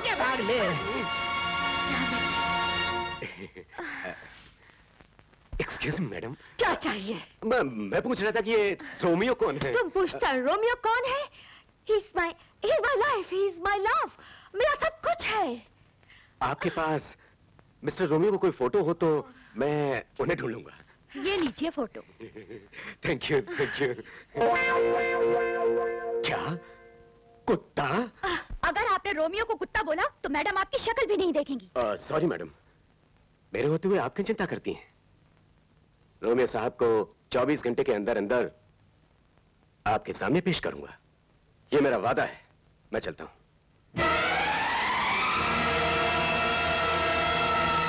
तुम लोग कुछ भी करो कैसे भी करो। एक घंटे के अंदर रोमियो मेरे सामने होना चाहिए समझे? सर वो कहीं भी हो। हम उस खतरनाक टेररिस्ट को पकड़कर आपके सामने पेश करेंगे। शट अप रोमियो कोई टेररिस्ट नहीं है। फिर? वो राजकुमारी जी का बहुत ही प्यारा छोटा सा लवली लवली पोमरेनियन कुत्ता है। क्या? रोमियो कुत्ता है? खबरदार जो रोमियो को किसी ने भी कुत्ता कहा। मंत्री जी तुम्हारा तबादला ऐसी जगह करवा देंगे जहाँ कोई कुत्ता भी नहीं भोंकेगा तुम पर। सर। जाओ जल्दी जाओ। शहर का कोना कोना छान मारो। जाओ जल्दी करो। जाओ। ये सब साहब आपकी पार्टी के कुछ एमएलए आपसे मिलने आए हैं। आज मेरा किसी से मिलने का मूड नहीं है। हाँ, जब तक वो कुत्ता नहीं मिल जाता रोमियो पोमरेनियन नहीं मिल जाता तब तक सारी आम सभाएँ सारी मीटिंग्स सारे उद्घाटन सारी मुलाकातें बंद। जाकर एमएलए को बोल दो। जी। ठीक और तुम? जी। शहर में सबसे अच्छा सूट सीने वाले दर्जी को इसी वक्त हमारे सामने पेश करो। सूट सीने वाला दर्जी? नहीं सर मेरे पास तो बहुत सूट हैं। कोई ज़रूरत नहीं। तुम्हारे लिए नहीं है? हमारे लिए। Oh, Romeo! My darling! तू कहाँ चला गया था, my sweetheart? जय हो जय हो। मैडम मंत्री जी कल से ऑफ़िस नहीं गए किसी सभा में नहीं गए किसी से मुलाकात नहीं की किसी का उद्घाटन नहीं किया बस रोमियो जी की तलाश में घूमते रहे और जैसे ही रोमियो जी इनको मिल गए उनको मखमल की गद्दी पर बिठाकर आपके पास ले आए ताकि रोमियो जी को कोई तकलीफ़ न हो जय हो। Oh, how nice of him! अरे वाह आज तो आप बहुत हैंडसम लगता है। You are looking very very very smart mister minister अच्छा आप लोग क्या पिएगा? ब्रांडी स्कॉच शैंपेन जी कुछ scotch juice juice juice lily apple juice apple juice please बैठिए। थैंक यू थैंक यू मंत्री जी सूट में आप ओ क्षमा चाहता हूँ। मंत्री जी। राजकुमारी जी मैं आपसे एक बात पूछना चाहता हूँ। यस गो अहेड आप सुंदर हैं, जवान हैं, फिर भी आप अकेली रहती हैं। किसी से शादी क्यों नहीं कर लेती? हम भी कुछ दिनों से शादी का वास्ते सीरियसली सोच रहा है। इंग्लैंड, अमेरिका में तो राजकुमारी जी से शादी करने के लिए कई करोड़पति लाइन में खड़े तपस्या कर रहे हैं। लेकिन हमको हिंदुस्तानी लोग बहुत पसंद है। I like India Indian music Indian culture Indian people they are beautiful हमने सोचा है कि हम एक हिंदुस्तानी आदमी से ही शादी करेगा। अ, मेरे बारे में आपकी क्या राय है। मैंने कोई गुस्ताखी तो नहीं की ना? No no not at all आप मिनिस्टर है जवान है सुंदर है सूट पहनता है ट्रिपल फाइव स्मोक करता है। फिर भी आज तक आप बैचलर हैं शादी नहीं किया इट्स वेरी सरप्राइजिंग नहीं नहीं नहीं बैचलर नहीं है। No? गलती थी एक बार एक छोटी सी शादी कर ली थी गाँव में। फिर तो हम इससे शादी नहीं कर सकते। You see one wife one husband no second wife please आप उसकी चिंता बिल्कुल मत कीजिए। उस गंवार को डाइवोर्स देकर आज ही घर से बाहर निकाल देता हूँ। डाइवोर्स हाँ। कल ही उसके डाइवोर्स पेपर्स के साथ आपकी सेवा में हाजिर हो जाऊँगा। ये मेरा वादा है।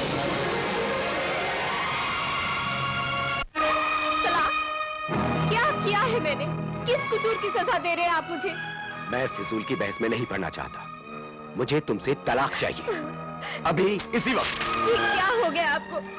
मैं आपको छोड़कर कहाँ जाऊँगी? कहीं भी। हाँ वैसे मैं तुमको एक गाड़ी बंगला और पाँच लाख रुपया कैश दे सकता हूँ। अगर तुम इस तलाकनामे पर दस्तखत कर दो तो। नहीं चाहिए मुझे आपकी गाड़ी बंगला और पैसा। चिल्लाओ मत। आखिरी बार पूछता हूँ। दस्तखत करती हो या नहीं? वरना जान से मार दूँगा। हाँ मार डाली मुझे। मगर मैं इस घर को नहीं छोड़ सकती। अपना सुहाग नहीं त्याग सकती। ठीक है। मैं तेरा सुहाग ही खत्म कर देता हूँ। अपने आप को गोली मार लेता हूँ। बोलो। तलाकनामे पर दस्तखत करती हो या गोली चला दूँ? नहीं नहीं गोली मत चलाइए। आप जो कहेंगे। मैं वही करने के लिए तैयार हूँ। Rajkumari ji good news very good news ये लीजिए डाइवोर्स पेपर्स मेरी बीवी ने दस्तखत कर दिए हैं। So, you have divorced your wife? हाँ अब तो कोई प्रॉब्लम नहीं है। आप उनसे शादी कर सकती हैं। बोलिए शादी कब रखें? मैडम फ़ोन हेलो रास्कल जो करने को सकता करो। हम तुम जैसा गुंडा लोग से नहीं डरता। क्या हुआ? कौन था? कोई बदमाश था। बोलता था अगर हम आपसे मिलेगा तो घर में बॉम्ब रखकर ब्लास्ट कर देगा। कौन हो सकता Who है knows? मिस्टर मिनिस्टर हमारा लाइफ का इधर क्या सिक्योरिटी है? क्या फ़ायदा इधर रहने का? No no I think I go back to London I just stand it नहीं नहीं ऐसा मत कीजिएगा। आप वापस जाएँगे तो हमारे देश का अपमान होगा। अगर मैं आपको सिक्योरिटी नहीं दे सका तो मेरा मिनिस्टर होना बेकार है। आपको पूरी सिक्योरिटी मिलेगी। मेरा एक पुलिस ऑफिसर 24 घंटे आपके साथ रहेगा आपकी रक्षा करेगा। ये मेरा वादा है। रियली हाँ। थैंक यू बट जो पुलिस ऑफिसर आप हमारा सिक्योरिटी के वास्ते भेजेगा वो एकदम स्मार्ट होना चाहिए इंटेलिजेंट होना चाहिए। हमको इडियट जैसा शक्ल बिल्कुल पसंद नहीं। मैं आपको सारे पुलिस ऑफिसर्स की तस्वीरें भेज दूँगा। आप देख लीजिए। जिसे आप पसंद करेंगी कल वो आपकी सेवा में हाजिर हो जाएगा। बाय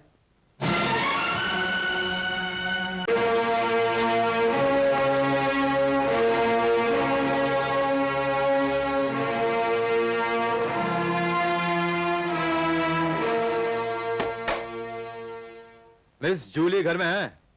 अरे राजकुमारी जी को नाम लेकर बुला रहे हो। कौन हो तुम? आ, जी जी मुझे मंत्री चरणदास जी ने भेजा है। लिली यस मैडम रोमियो क्यों भोगता है? घर में कोई दूसरा कुत्ता आ गया क्या? मिनिस्टर साहब ने आपकी सिक्योरिटी के लिए एक आदमी भेजा है। उसी को देखकर भौंक रहा है। ओह I see good morning madam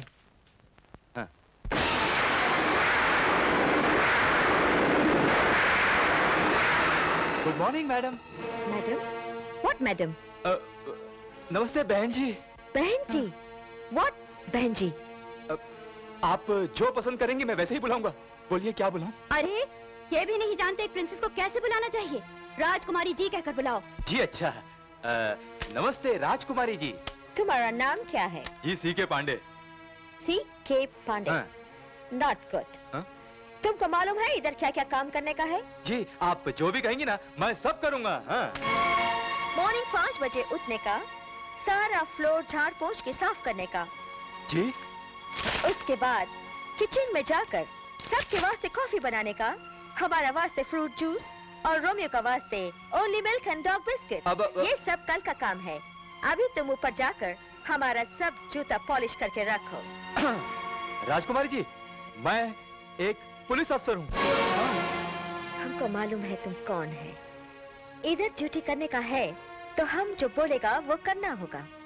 राजकुमारी जी मुझे ऐसे काम करने की आदत नहीं है। आदत नहीं है तो गेट आउट लिली मिनिस्टर साहब को फ़ोन करके बोलो कि ये आदमी बिल्कुल यूजलेस है कोई दूसरा आदमी भेज दो।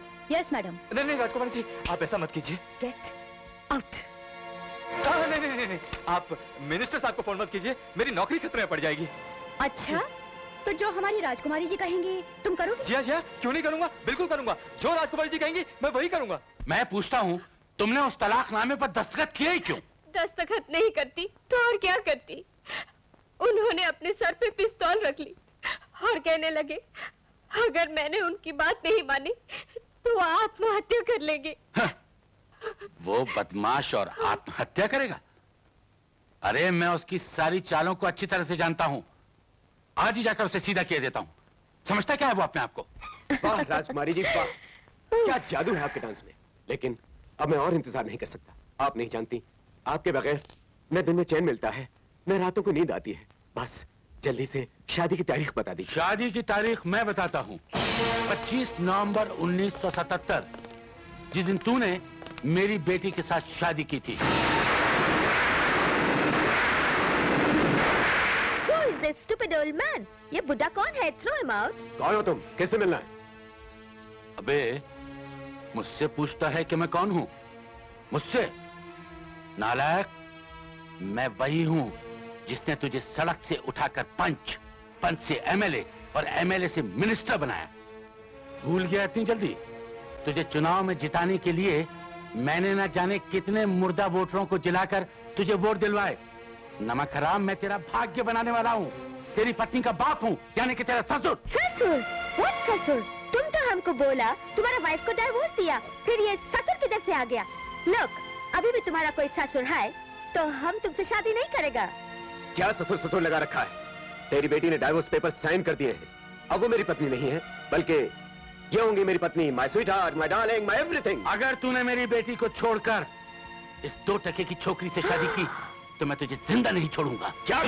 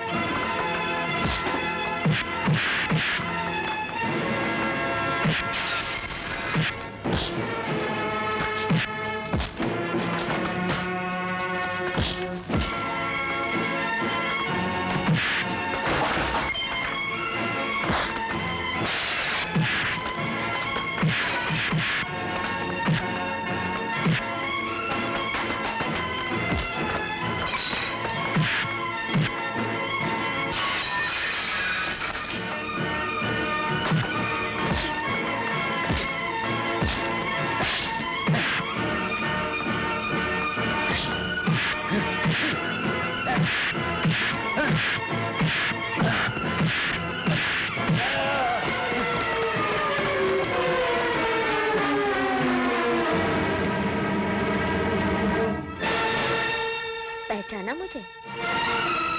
मैं डॉक्टर विजय वर्मा की पत्नी हूँ। आरती।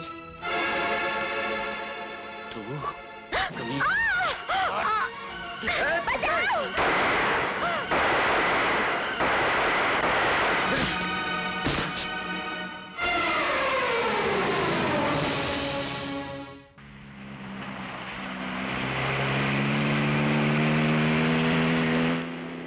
लिबास में आप बहुत सुंदर लग रही नहीं नहीं वो मैं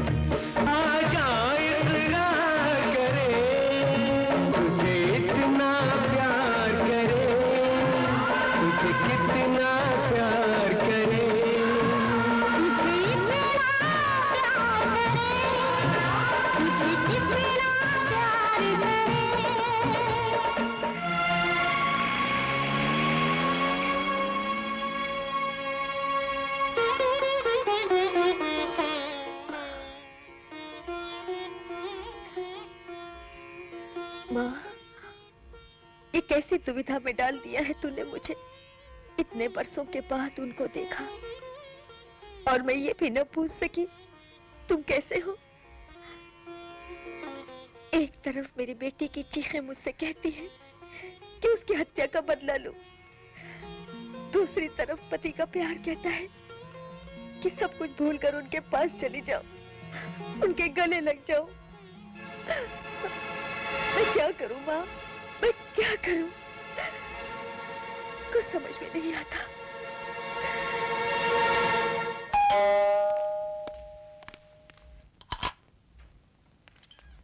तुम यहाँ? तुमको यहाँ आने के लिए मना किया था ना? किसी ने देख लिया तो मालूम है क्या होगा? चाहे कुछ भी हो। अब मैं ये नाटक नहीं कर सकती, दीदी। लेकिन क्यों? अचानक क्या हो गया? वो आ गए हैं और उन्होंने मुझे चरणदास के साथ गाड़ी में बैठे देख लिया था। इतने दिनों के बाद मिले थे। और मैं उनसे एक बात भी न कर पाई। न जाने वो क्या सोच रहे होंगे। दीदी, अब न मुझे अपने लिए न्याय चाहिए, ना किसी और के लिए सजा। मुझे मेरे पति मिल गए हैं, मुझे सब कुछ मिल गया है। अब मुझे और कुछ नहीं चाहिए।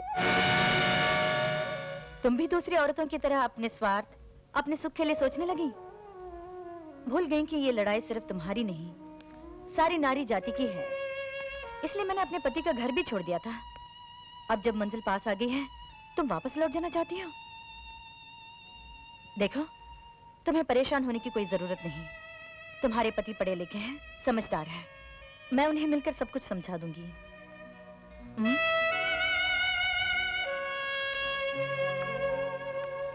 आरती वर्मा।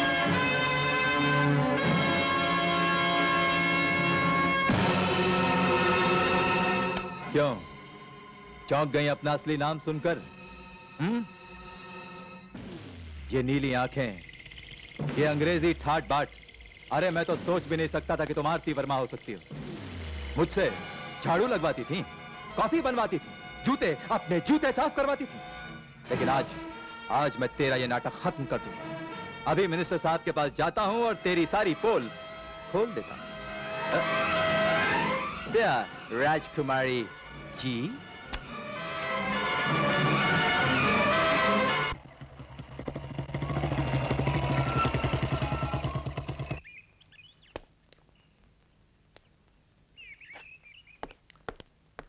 हाँ, मिनिस्टर साहब अंदर हैं? नहीं साहब। तुम्हें मालूम है कहाँ है?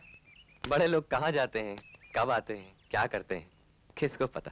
ठीक है तुम मुझे कागज़ दो मैं उनके नाम एक चिट्ठी लेकर देता हूँ। आइए अंदर आइए। ये रहा कागज़। हाँ।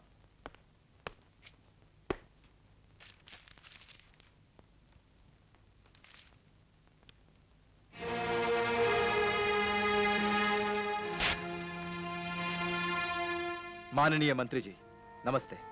आपके साथ बहुत बड़ा धोखा हुआ है। वो लड़की जिससे आप शादी करना चाहते हैं, वो दरअसल राजकुमारी नहीं है, बल्कि न्याय नगर की आरती है। आज उसे मैंने अपनी आँखों से उसके असली रूप में देख लिया है। वो फेस बदल कर आपसे बदला लेने आई है। सावधान रहिएगा। आपका पांडे।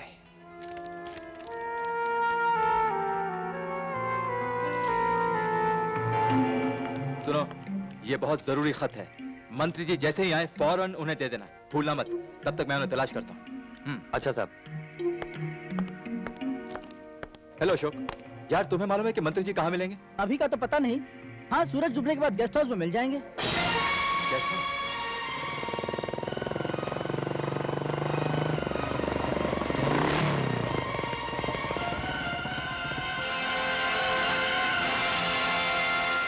आपके काम के लिए फ़ोन कर दिया है मेरे ख्याल में हो जाएगा। गुड इवनिंग सर अरे ऐसे क्यों भागे चले आ रहे हो?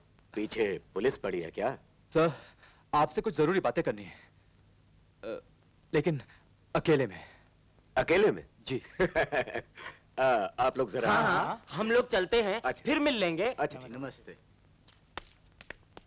अब बोलो क्या काम है? सर आपके साथ बहुत बड़ा धोखा हुआ है। हाँ हाँ। धोखा तो बहुत बड़ा हुआ है। आप जानते हैं? मैं सरकार चलाता हूँ। और हर बात की खबर रखना मेरा काम है। मैं अच्छी तरह जानता हूँ कि कौन कब कहाँ क्या कर रहा है। और मुझे उसके साथ क्या करना है। तो अब क्या करेंगे सर? तुम जानते हो कि मेरे साथ गद्दारी करने वालों को मैं कभी ज़िंदा नहीं छोड़ता।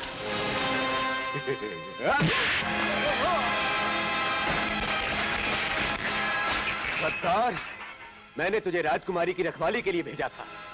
और तूने उन्हीं की इज़्ज़त पर हाथ डाल दिया। इतना ही नहीं चरणदास। ये बोलता था मिनिस्टर हमारा इशारे का ऊपर डांस करता है। हमको उसका सब सीक्रेट मालूम है। हम जब चाहेगा उसको जेल भेज सकता है। कमीनी बदजात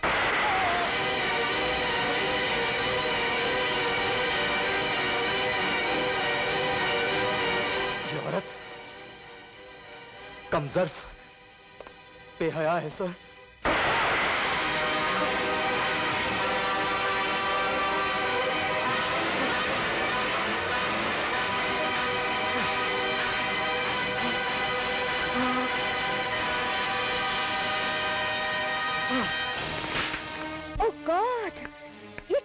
तुम।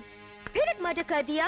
I mean this is your second murder दूसरा खून। आपके लिए दो तो क्या दो हज़ार खून भी कर सकता हूँ। कोई आपको छूकर तो देखे मैं उसकी जान ले लूँगा चाहे वो कोई भी हो। Oh, what a lucky girl I am लेकिन इस लाश का क्या करेगा? वही जो हमेशा करता हूँ।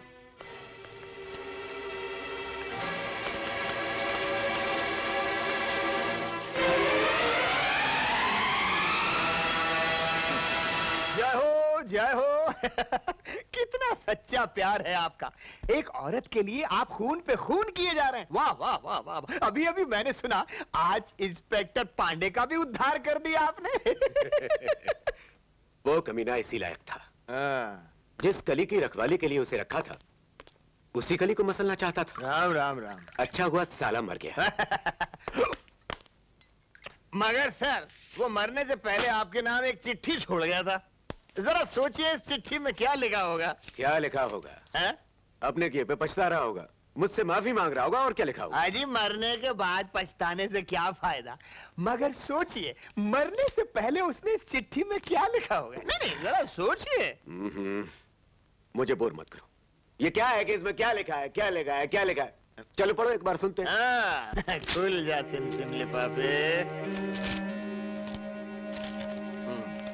माननीय मंत्री महोदय। ये मंत्री मंत्री क्या लगा रखा है, हैं? ये पैक बनाओ तो कुछ मज़ा आए। क्या बात क्या बात है? मगर सोचने की बात है कि इसमें लिखा क्या होगा? मैं देता हूँ सरकार। छलकाए आपके नाम। हाय हाय हाय हाय क्या बात है। जय हो तू भी लगा ले।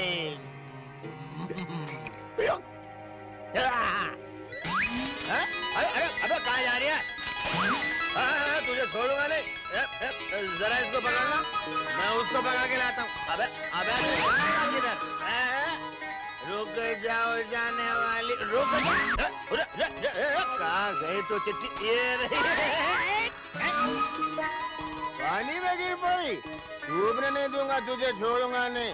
न जाओ सैया छोड़ा अरे कहाँ चली थी दुल्हनिया? पकड़ लिया सब पकड़ लिया। ये मुझको छोड़ के भाग रही थी। आखिर मैं आपका पिए हूँ। थोड़ा पिए हुआ हूँ तो क्या हुआ? हूँ तो पिए। अब देखिए आप सोचिए इसमें क्या लिखा होगा। पढ़ो। पढ़ो। मुझे छोड़कर भाग रही थी। पढ़ो पढ़ो पढ़ो। अब पढ़ू क्या? आधी तो पानी में धुल गई। बाथरूम में घुस गई थी ना ये? उल्लू की पट्टी।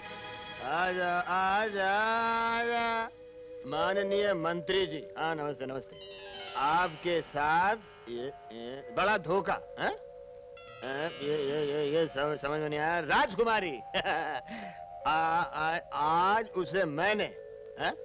मैंने क्या? कुछ कर दिया? कर दिया होगा। ए, ए, ये ये ये ये समझ में नहीं आया? धुल गया धुल गया धुल गया। आ सावधान रहिएगा। वाह! देखिए इंस्पेक्टर पांडे की ज़रूरत। उल्टे सीधे काम खुद करे। और सावधान रहने के लिए आपको कह रहा this is too much too much नहीं थ्री मच सर इसीलिए उस कमीने को खत्म कर दिया। बहुत अच्छा किया। हाँ। हाँ? अच्छा मैं अरे कहाँ चल रही है सरकार? अपनी हालत देखिए काफ़ी चढ़ी हुई है। मैं उस राजकुमारी से मिलके शादी की तारीख पक्की करके ही रहूँगा। राजकुमारी से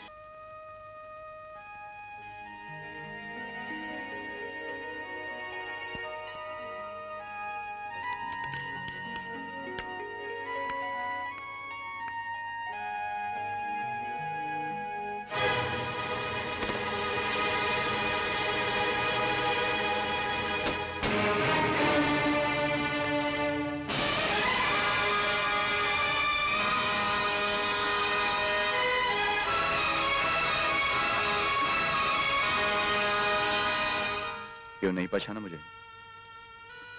मेरा नाम विजय वर्मा है। कई साल पहले, मैं एक छोटे से गाँव में डॉक्टर था। मेरा एक छोटा सा परिवार था। एक प्यारी बच्ची थी और एक सीधी सी पत्नी, जिसे मैं बहुत प्यार करता था। उसे देवी मानता था, मगर आज आज मुझे पता चला कि वो देवी नहीं, एक उल्टा है। पत्नी के नाम पर एक कलंक है। कहने से पहले एक बार सुन तो लीजिए कि सच क्या है। मैं जानता हूँ सच क्या है। सच ये है कि तुम इतने वर्षों में मुझे एक बार भी जेल में मिलने नहीं आई। सच ये है कि उस दिन अदालत में तुम पर जो इल्ज़ाम लगाए गए थे, तुमने उसे साबित कर दिखाया। सच यह है कि तुम उस मंत्री की प्रेमिका बनकर इस आलिशान महल में ऐशो आराम की ज़िंदगी गुजार रही हो और उस दिन मुझे सड़क पर देखकर भी पहचानने से इनकार कर दिया। यही सच है। फ़िलहाल तो मैं अपनी बच्ची को लेने आया हूँ। मैं नहीं चाहता कि तुम्हारे पापों की छाया भी उस पर पड़े। आप किसे पाप कहते हैं? भरी अदालत में मुझे बच्चलन कहा गया। मेरे निर्दोष पति को खूनी ठहराया गया। और मैं सब कुछ चुपचाप देखती रही। अगर ये पाप है तो मैंने पाप किया है। मुझे वेश्या कहकर गाँव वालों ने धक्के मारकर पुलिस के हवाले कर दिया। और मैं कुछ नहीं कर सकी। अगर ये पाप है तो मैंने पाप किया है।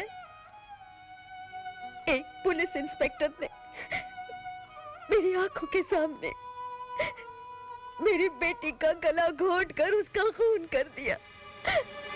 और मैंने अपने इन्हीं हाथों से अपनी मुन्नी को मट्टी में दबा दिया। अगर और जब मैं इंस्पेक्टर की शिकायत लेकर मंत्री चरणदास के पास गई तो उसने उसे सजा देने के बजाय मुझे सजा दी। मेरी इज़्ज़त लूट ली।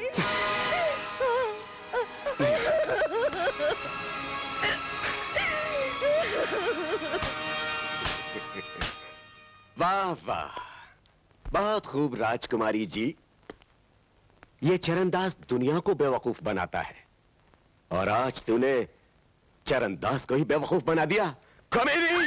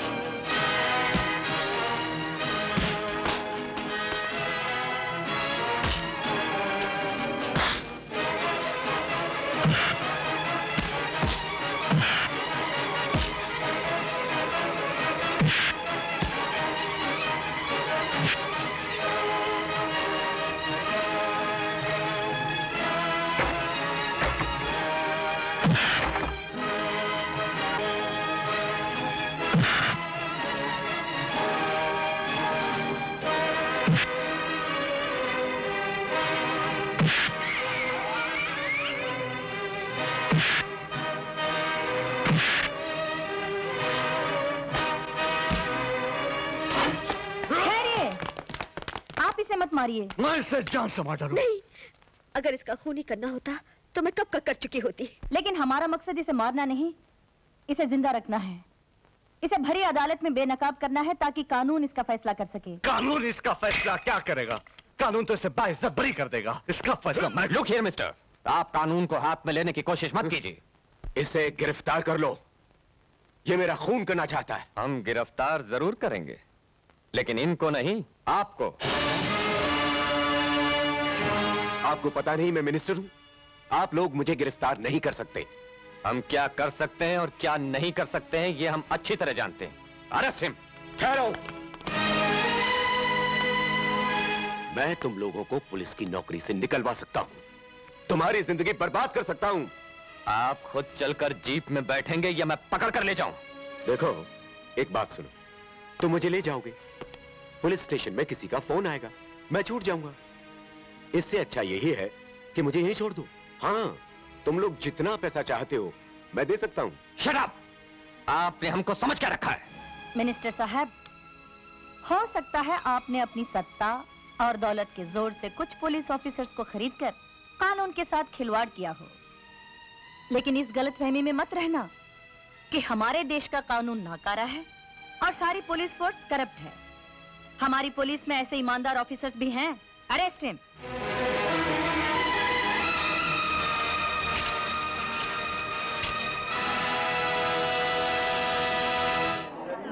नमस्कार पत्रकार जी नमस्कार बाबा। पत्रकार जी आज किसका केस है? मिनिस्टर चरण दास ने दो आदमियों का खून कर दिया है ना उसी का केस चल रहा है। अच्छा? और सरकार की तरफ़ से भारती देवी लड़ने वाली है। वाह क्या बात है। फिर तो आज बड़ा बताएगा और मंत्री चरण दास के गिरफ़्तार होते ही उन्हें सस्पेंड कर दिया गया है। ये तो बहुत पहले कर देना चाहिए। हाँ। अरे कुछ ऐसे ही गंदे मंत्रियों की वजह से बेचारे अच्छे मंत्री भी बदनाम हो जाते हैं। करेक्ट वेरी करेक्ट बाबा ये गंदे मंत्री कौन है? योर ऑनर ये मिस्टर चरणदास जिनके लिए कल तक किसी को कत्ल कर देना एक चींटी को मसल देने से ज़्यादा अहमियत नहीं रखता था और जो सत्ता के नशे में बदमस्त होकर सीना तान कर चलते थे आज सत्ता की डोर हाथ से निकल जाने के बाद एकदम सहम कर, सिकुड़ कर, सिमट कर भीगी बिल्ली की तरह इस कटरे में खड़े हैं। बेचारे। मेरी शिकायत पर दिल्ली पुलिस की मदद से चरणदास जी को गिरफ़्तार तो कर लिया गया था, लेकिन उसके बाद यहाँ की पुलिस ने ना कोई कार्रवाई की, ना कोई तहकीकात।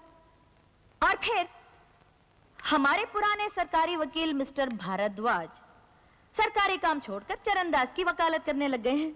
इसमें मुझे कोई एतराज़ नहीं है। लेकिन नए सरकारी वकील ने भी कुछ नहीं किया। ये सिर्फ़ दिखावा करते हैं कि ये मुजरिम के खिलाफ केस लड़ रहे हैं।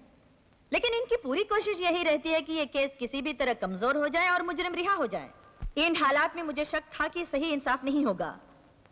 इसलिए मैंने सरकार को अर्जी देकर इस केस को सरकार की तरफ़ से पेश करने की इजाज़त ले ली है। ये देखिए।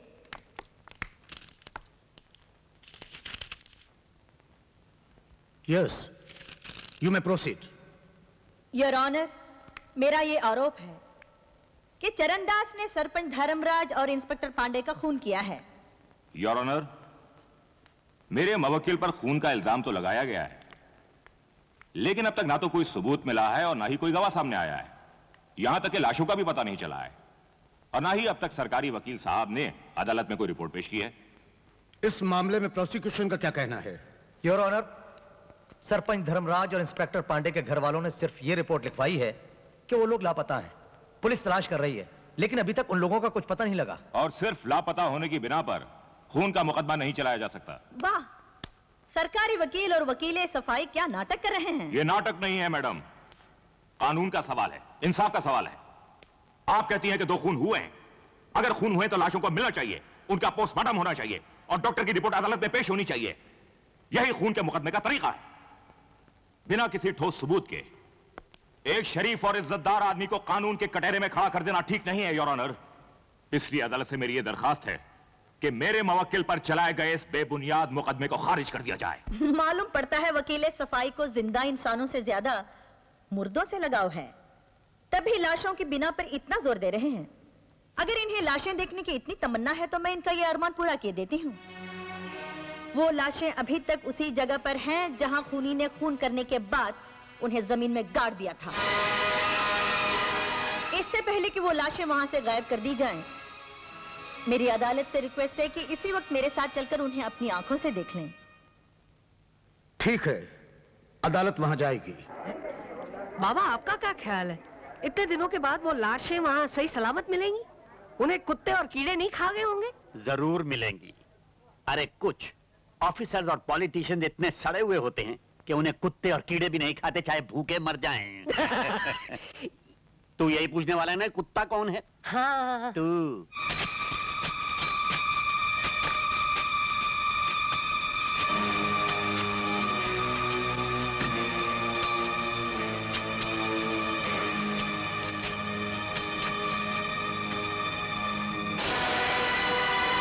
योर ऑनर यह सच है कि धर्मराज और इंस्पेक्टर पांडे की लाशें बरामद हुई हैं। लेकिन इससे यह साबित नहीं होता कि यह खून चरणदास जी ने किए योर ऑनर ये एक वीडियो फ़िल्म है। इसे देखने से आपको साफ़ मालूम पड़ जाएगा कि खूनी कौन है और उसका मकसद क्या था। नो योर ऑनर किसी भी अदालत में वीडियो फ़िल्म को सबूत नहीं माना जाता। दिल्ली हाईकोर्ट ने एक वसीयत के केस में वीडियो कैसेट को ठोस सबूत माना है। ये रही उसकी रिपोर्ट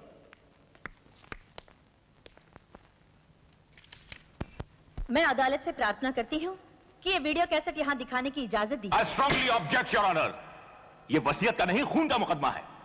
अदालत ने इस फ़िल्म को दिखाने की इजाज़त नहीं देनी चाहिए नहीं देनी चाहिए। मैं कहता हूँ बिल्कुल नहीं देनी चाहिए। ऑर्डर ऑर्डर अदालत यह हुक्म देती है कि दोपहर के सेशन में ये वीडियो कैसे दिखाने का इंतज़ाम किया जाए। बाबा आपको पता है इस फ़िल्म का हीरो और हीरोइन कौन है? तेरी माँ और तेरा बाप। क्या बात है? मेरा बाप कौन है? मैं नहीं हूँ।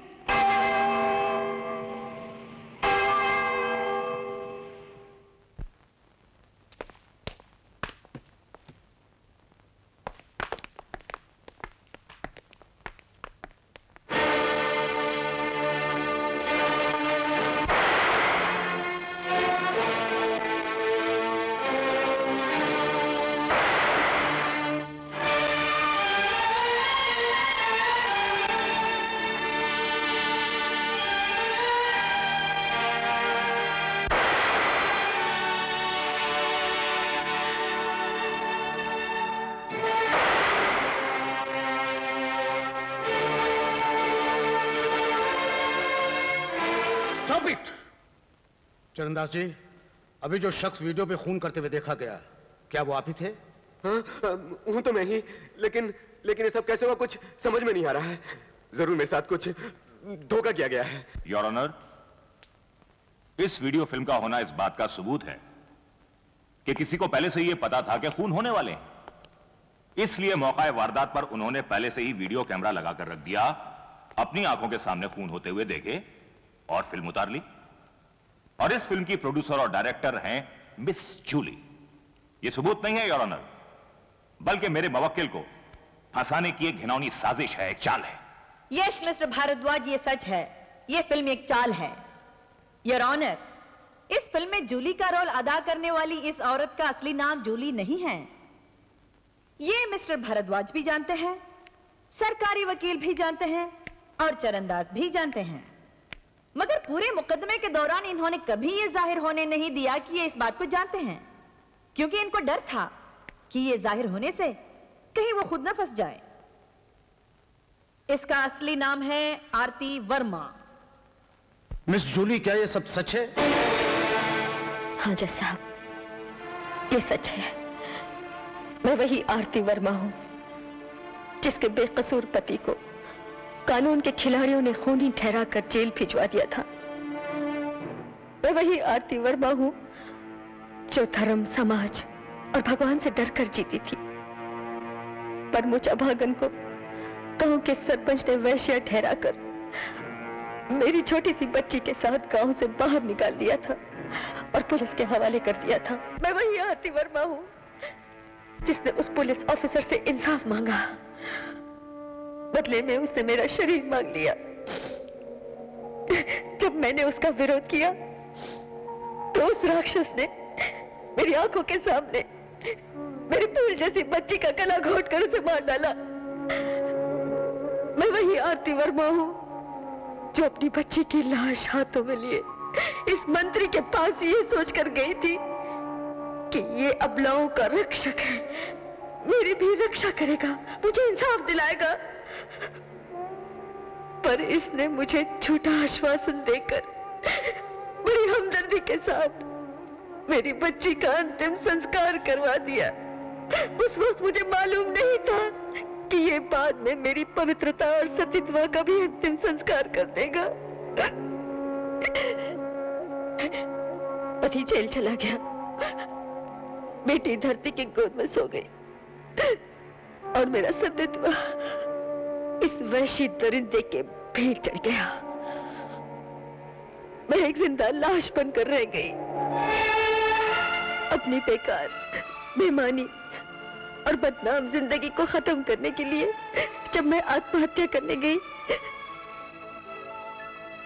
तो इस न्याय की पुजारन ने आकर मुझे बचा लिया। वो मेरा दुख, अपना दुख समझकर मुझे इंसाफ दिलाने के लिए इसी अदालत की वेदी पर ले आई। फिर भी क्या मुझे इंसाफ मिला? नहीं जज साहब, नहीं। मुझे सिर्फ़ सजा मिली। उन गुनाहों की जो मैंने नहीं किए थे। इसी अदालत में मुझे वैश्य कहा गया। अपनी ही बेटी की हत्यारन कहा गया। और मुझे काल कोठरी में डाल दिया गया।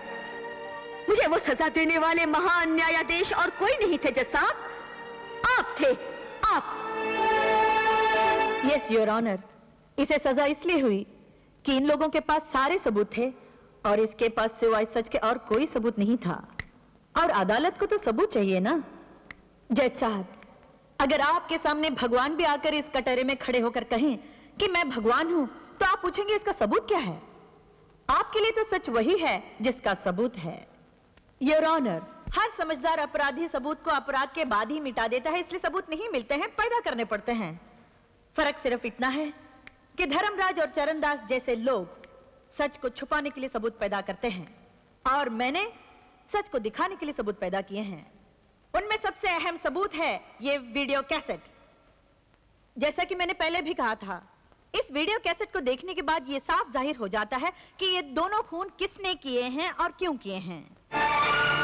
योर ऑनर इसके बाद भी अगर आप इंसाफ न कर सकें तो भगवान के लिए इस अदालत को आप बदनाम मत कीजिए। सत्य में विजयते की इज़्ज़त नहीं रख सकते तो इसे मिटाकर लिखवा दीजिए कि यहाँ झूठ की जीत होती है। सच बोलने वालों को सजा दी जाती है। इंसाफ मांगने वालों को जेल भेज दिया जाता है, जैसे कि आज तक आरती वर्मा के साथ होता रहा है। लेकिन अब मैं इसके साथ ऐसा नहीं होने दूँगी। अगर अदालत से इसे इंसाफ नहीं मिला तो ये वीडियो फ़िल्म सारी जनता को दिखाई जाएगी, पार्लियामेंट में पेश की जाएगी, सारी दुनिया के सामने लाई जाएगी। इस बार मैं आरती को इंसाफ दिलाकर रहूँगी। चाहे इसके लिए मुझे कोई भी कुर्बानी क्यों न देनी पड़े। दैट्स ऑल योर ऑनर वाह बहुत खूब। क्या सुंदर और मज़बूत दलील पेश की है भारती देवी ने। अरे कानून की किताब हाथ में लेकर इतनी बहादुरी से लड़ी है। अगर कहीं इसके हाथ में तलवार आ जाती तो तो झांसी की रानी बन जाती। Correct correct. ये झांसी की रानी कौन थी? मुझे भी अपने जैसा बना दिया। मुकदमे का फैसला कल सुनाया जाएगा। The court is adjourn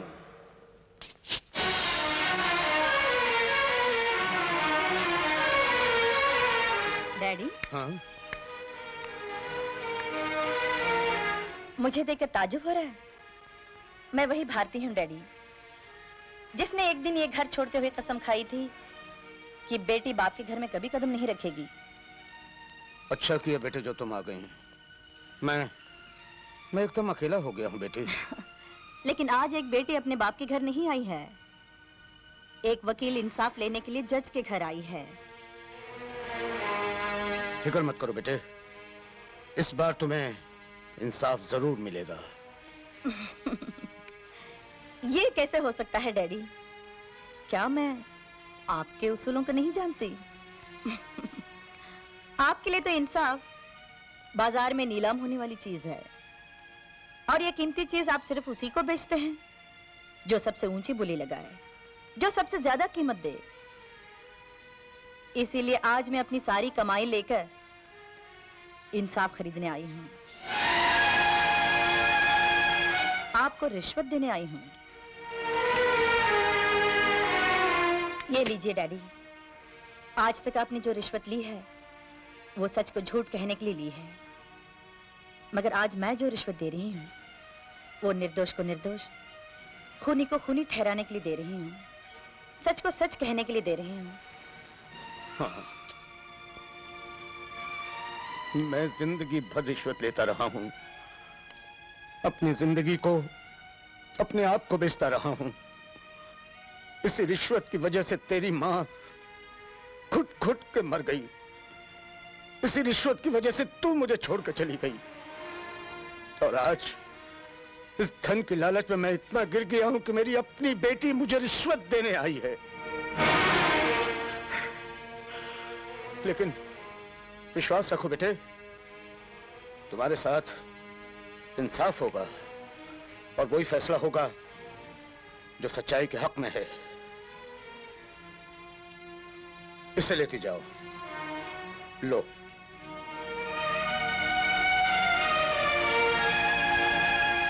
thank you daddy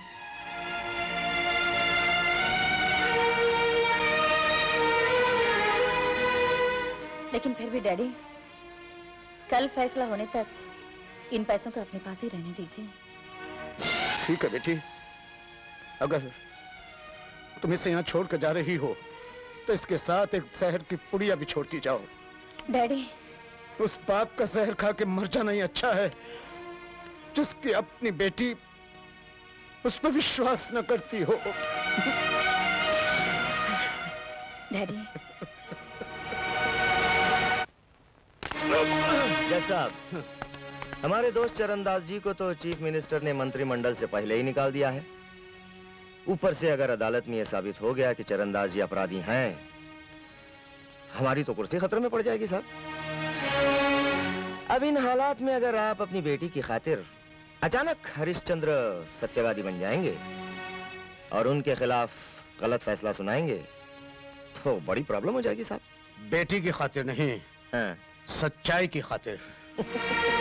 आज तक मैंने जो गुनाह किए हैं उनके प्रायश्चित की खातिर। अब वही होगा जो मेरी अंतरात्मा कहेगी। ससुर जी इस दुनिया में तो वही होता आ रहा है जो हम जैसे लोग चाहते हैं।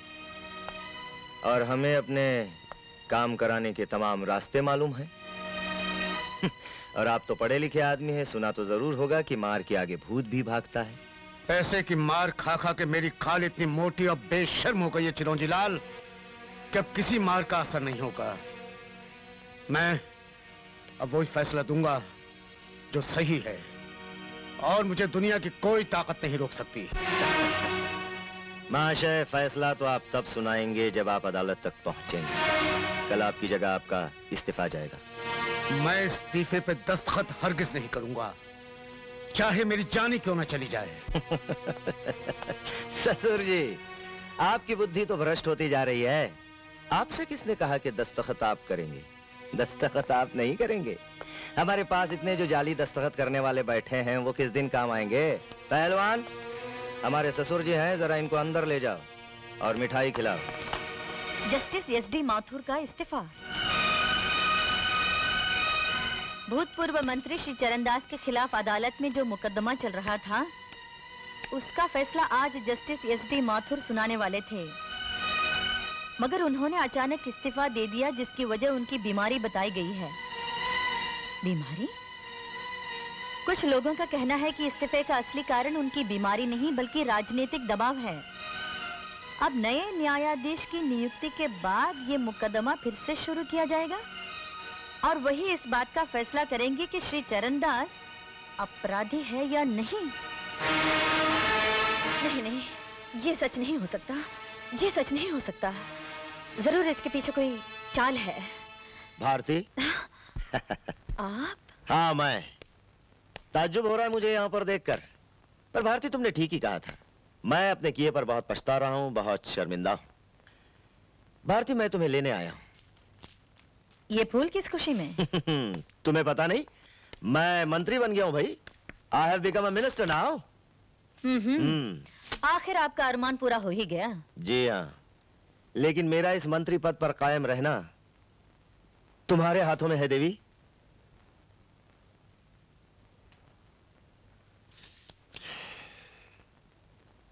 भारती ये देखो हमारे पासपोर्ट्स ये हवाई जहाज़ के टिकट्स चलो दो तीन महीने के लिए सारी दुनिया की सैर कराते हैं। बहुत दिन तुमसे अलग रहा हूँ।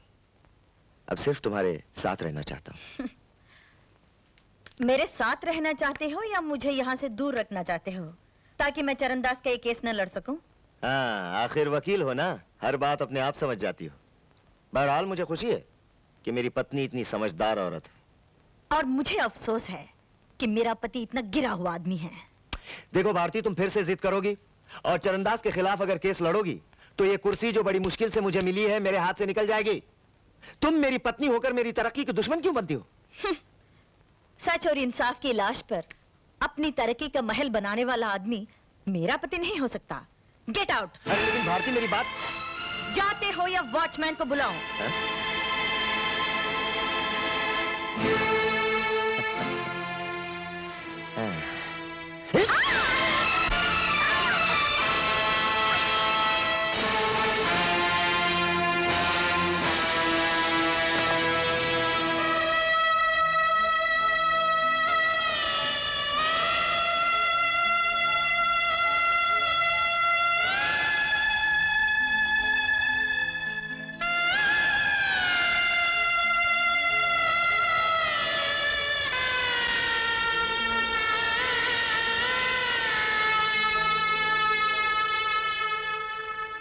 जिसको चुना था जीवन साथी, आज वो निकला कातिल जिसको चुना था जीवन साथी, आज वो निकला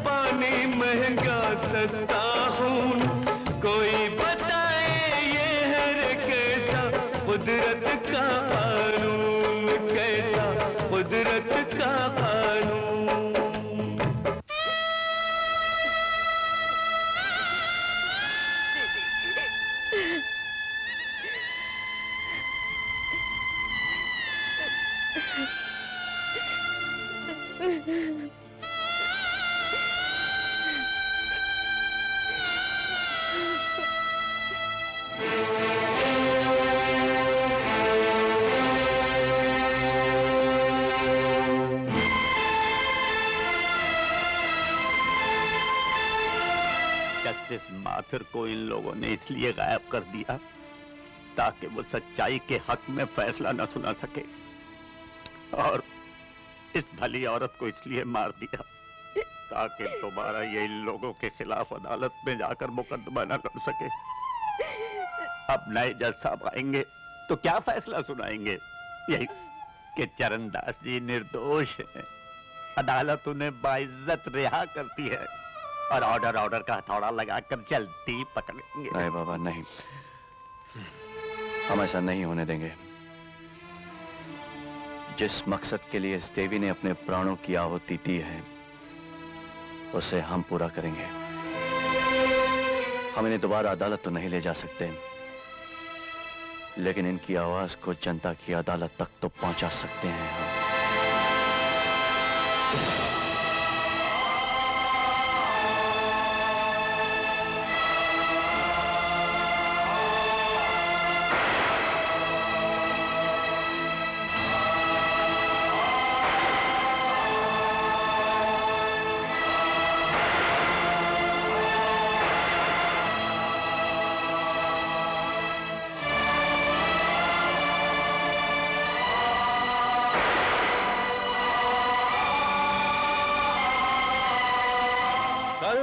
जज साहब इस केस का फैसला सुनाने वाले हैं। अगर फैसले में न्याय नहीं हुआ तो आप लोग क्या करेंगे?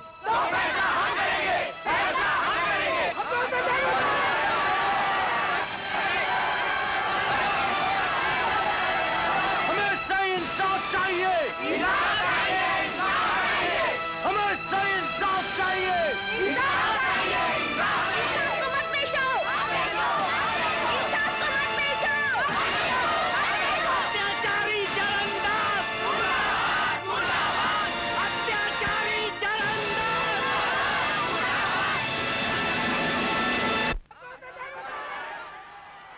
सारे गवाहों के बयाना सुनने के बाद अदालत इस नतीजे पर पहुँची है कि एक वीडियो कैसेट के अलावा इस बात का और कोई सबूत नहीं मिला कि मिस्टर चरणदास ने सरपंच धर्मराज और इंस्पेक्टर पांडे का खून किया है। वीडियो कैसेट एक फ़िल्म की तरह है और ये सभी जानते हैं कि फ़िल्मों में डुप्लीकेट और मास्क का बहुत सफ़ाई से इस्तेमाल किया जाता है। हो सकता है कि इस फ़िल्म में भी किसी डुप्लीकेट ने श्री चरणदास का मास्क पहनकर ये दोनों खून किए हों। इस बात को ध्यान में रखते हुए ये अदालत श्री चरणदास को संदेह का लाभ देते हुए बा इज़्ज़त रिहा करती है।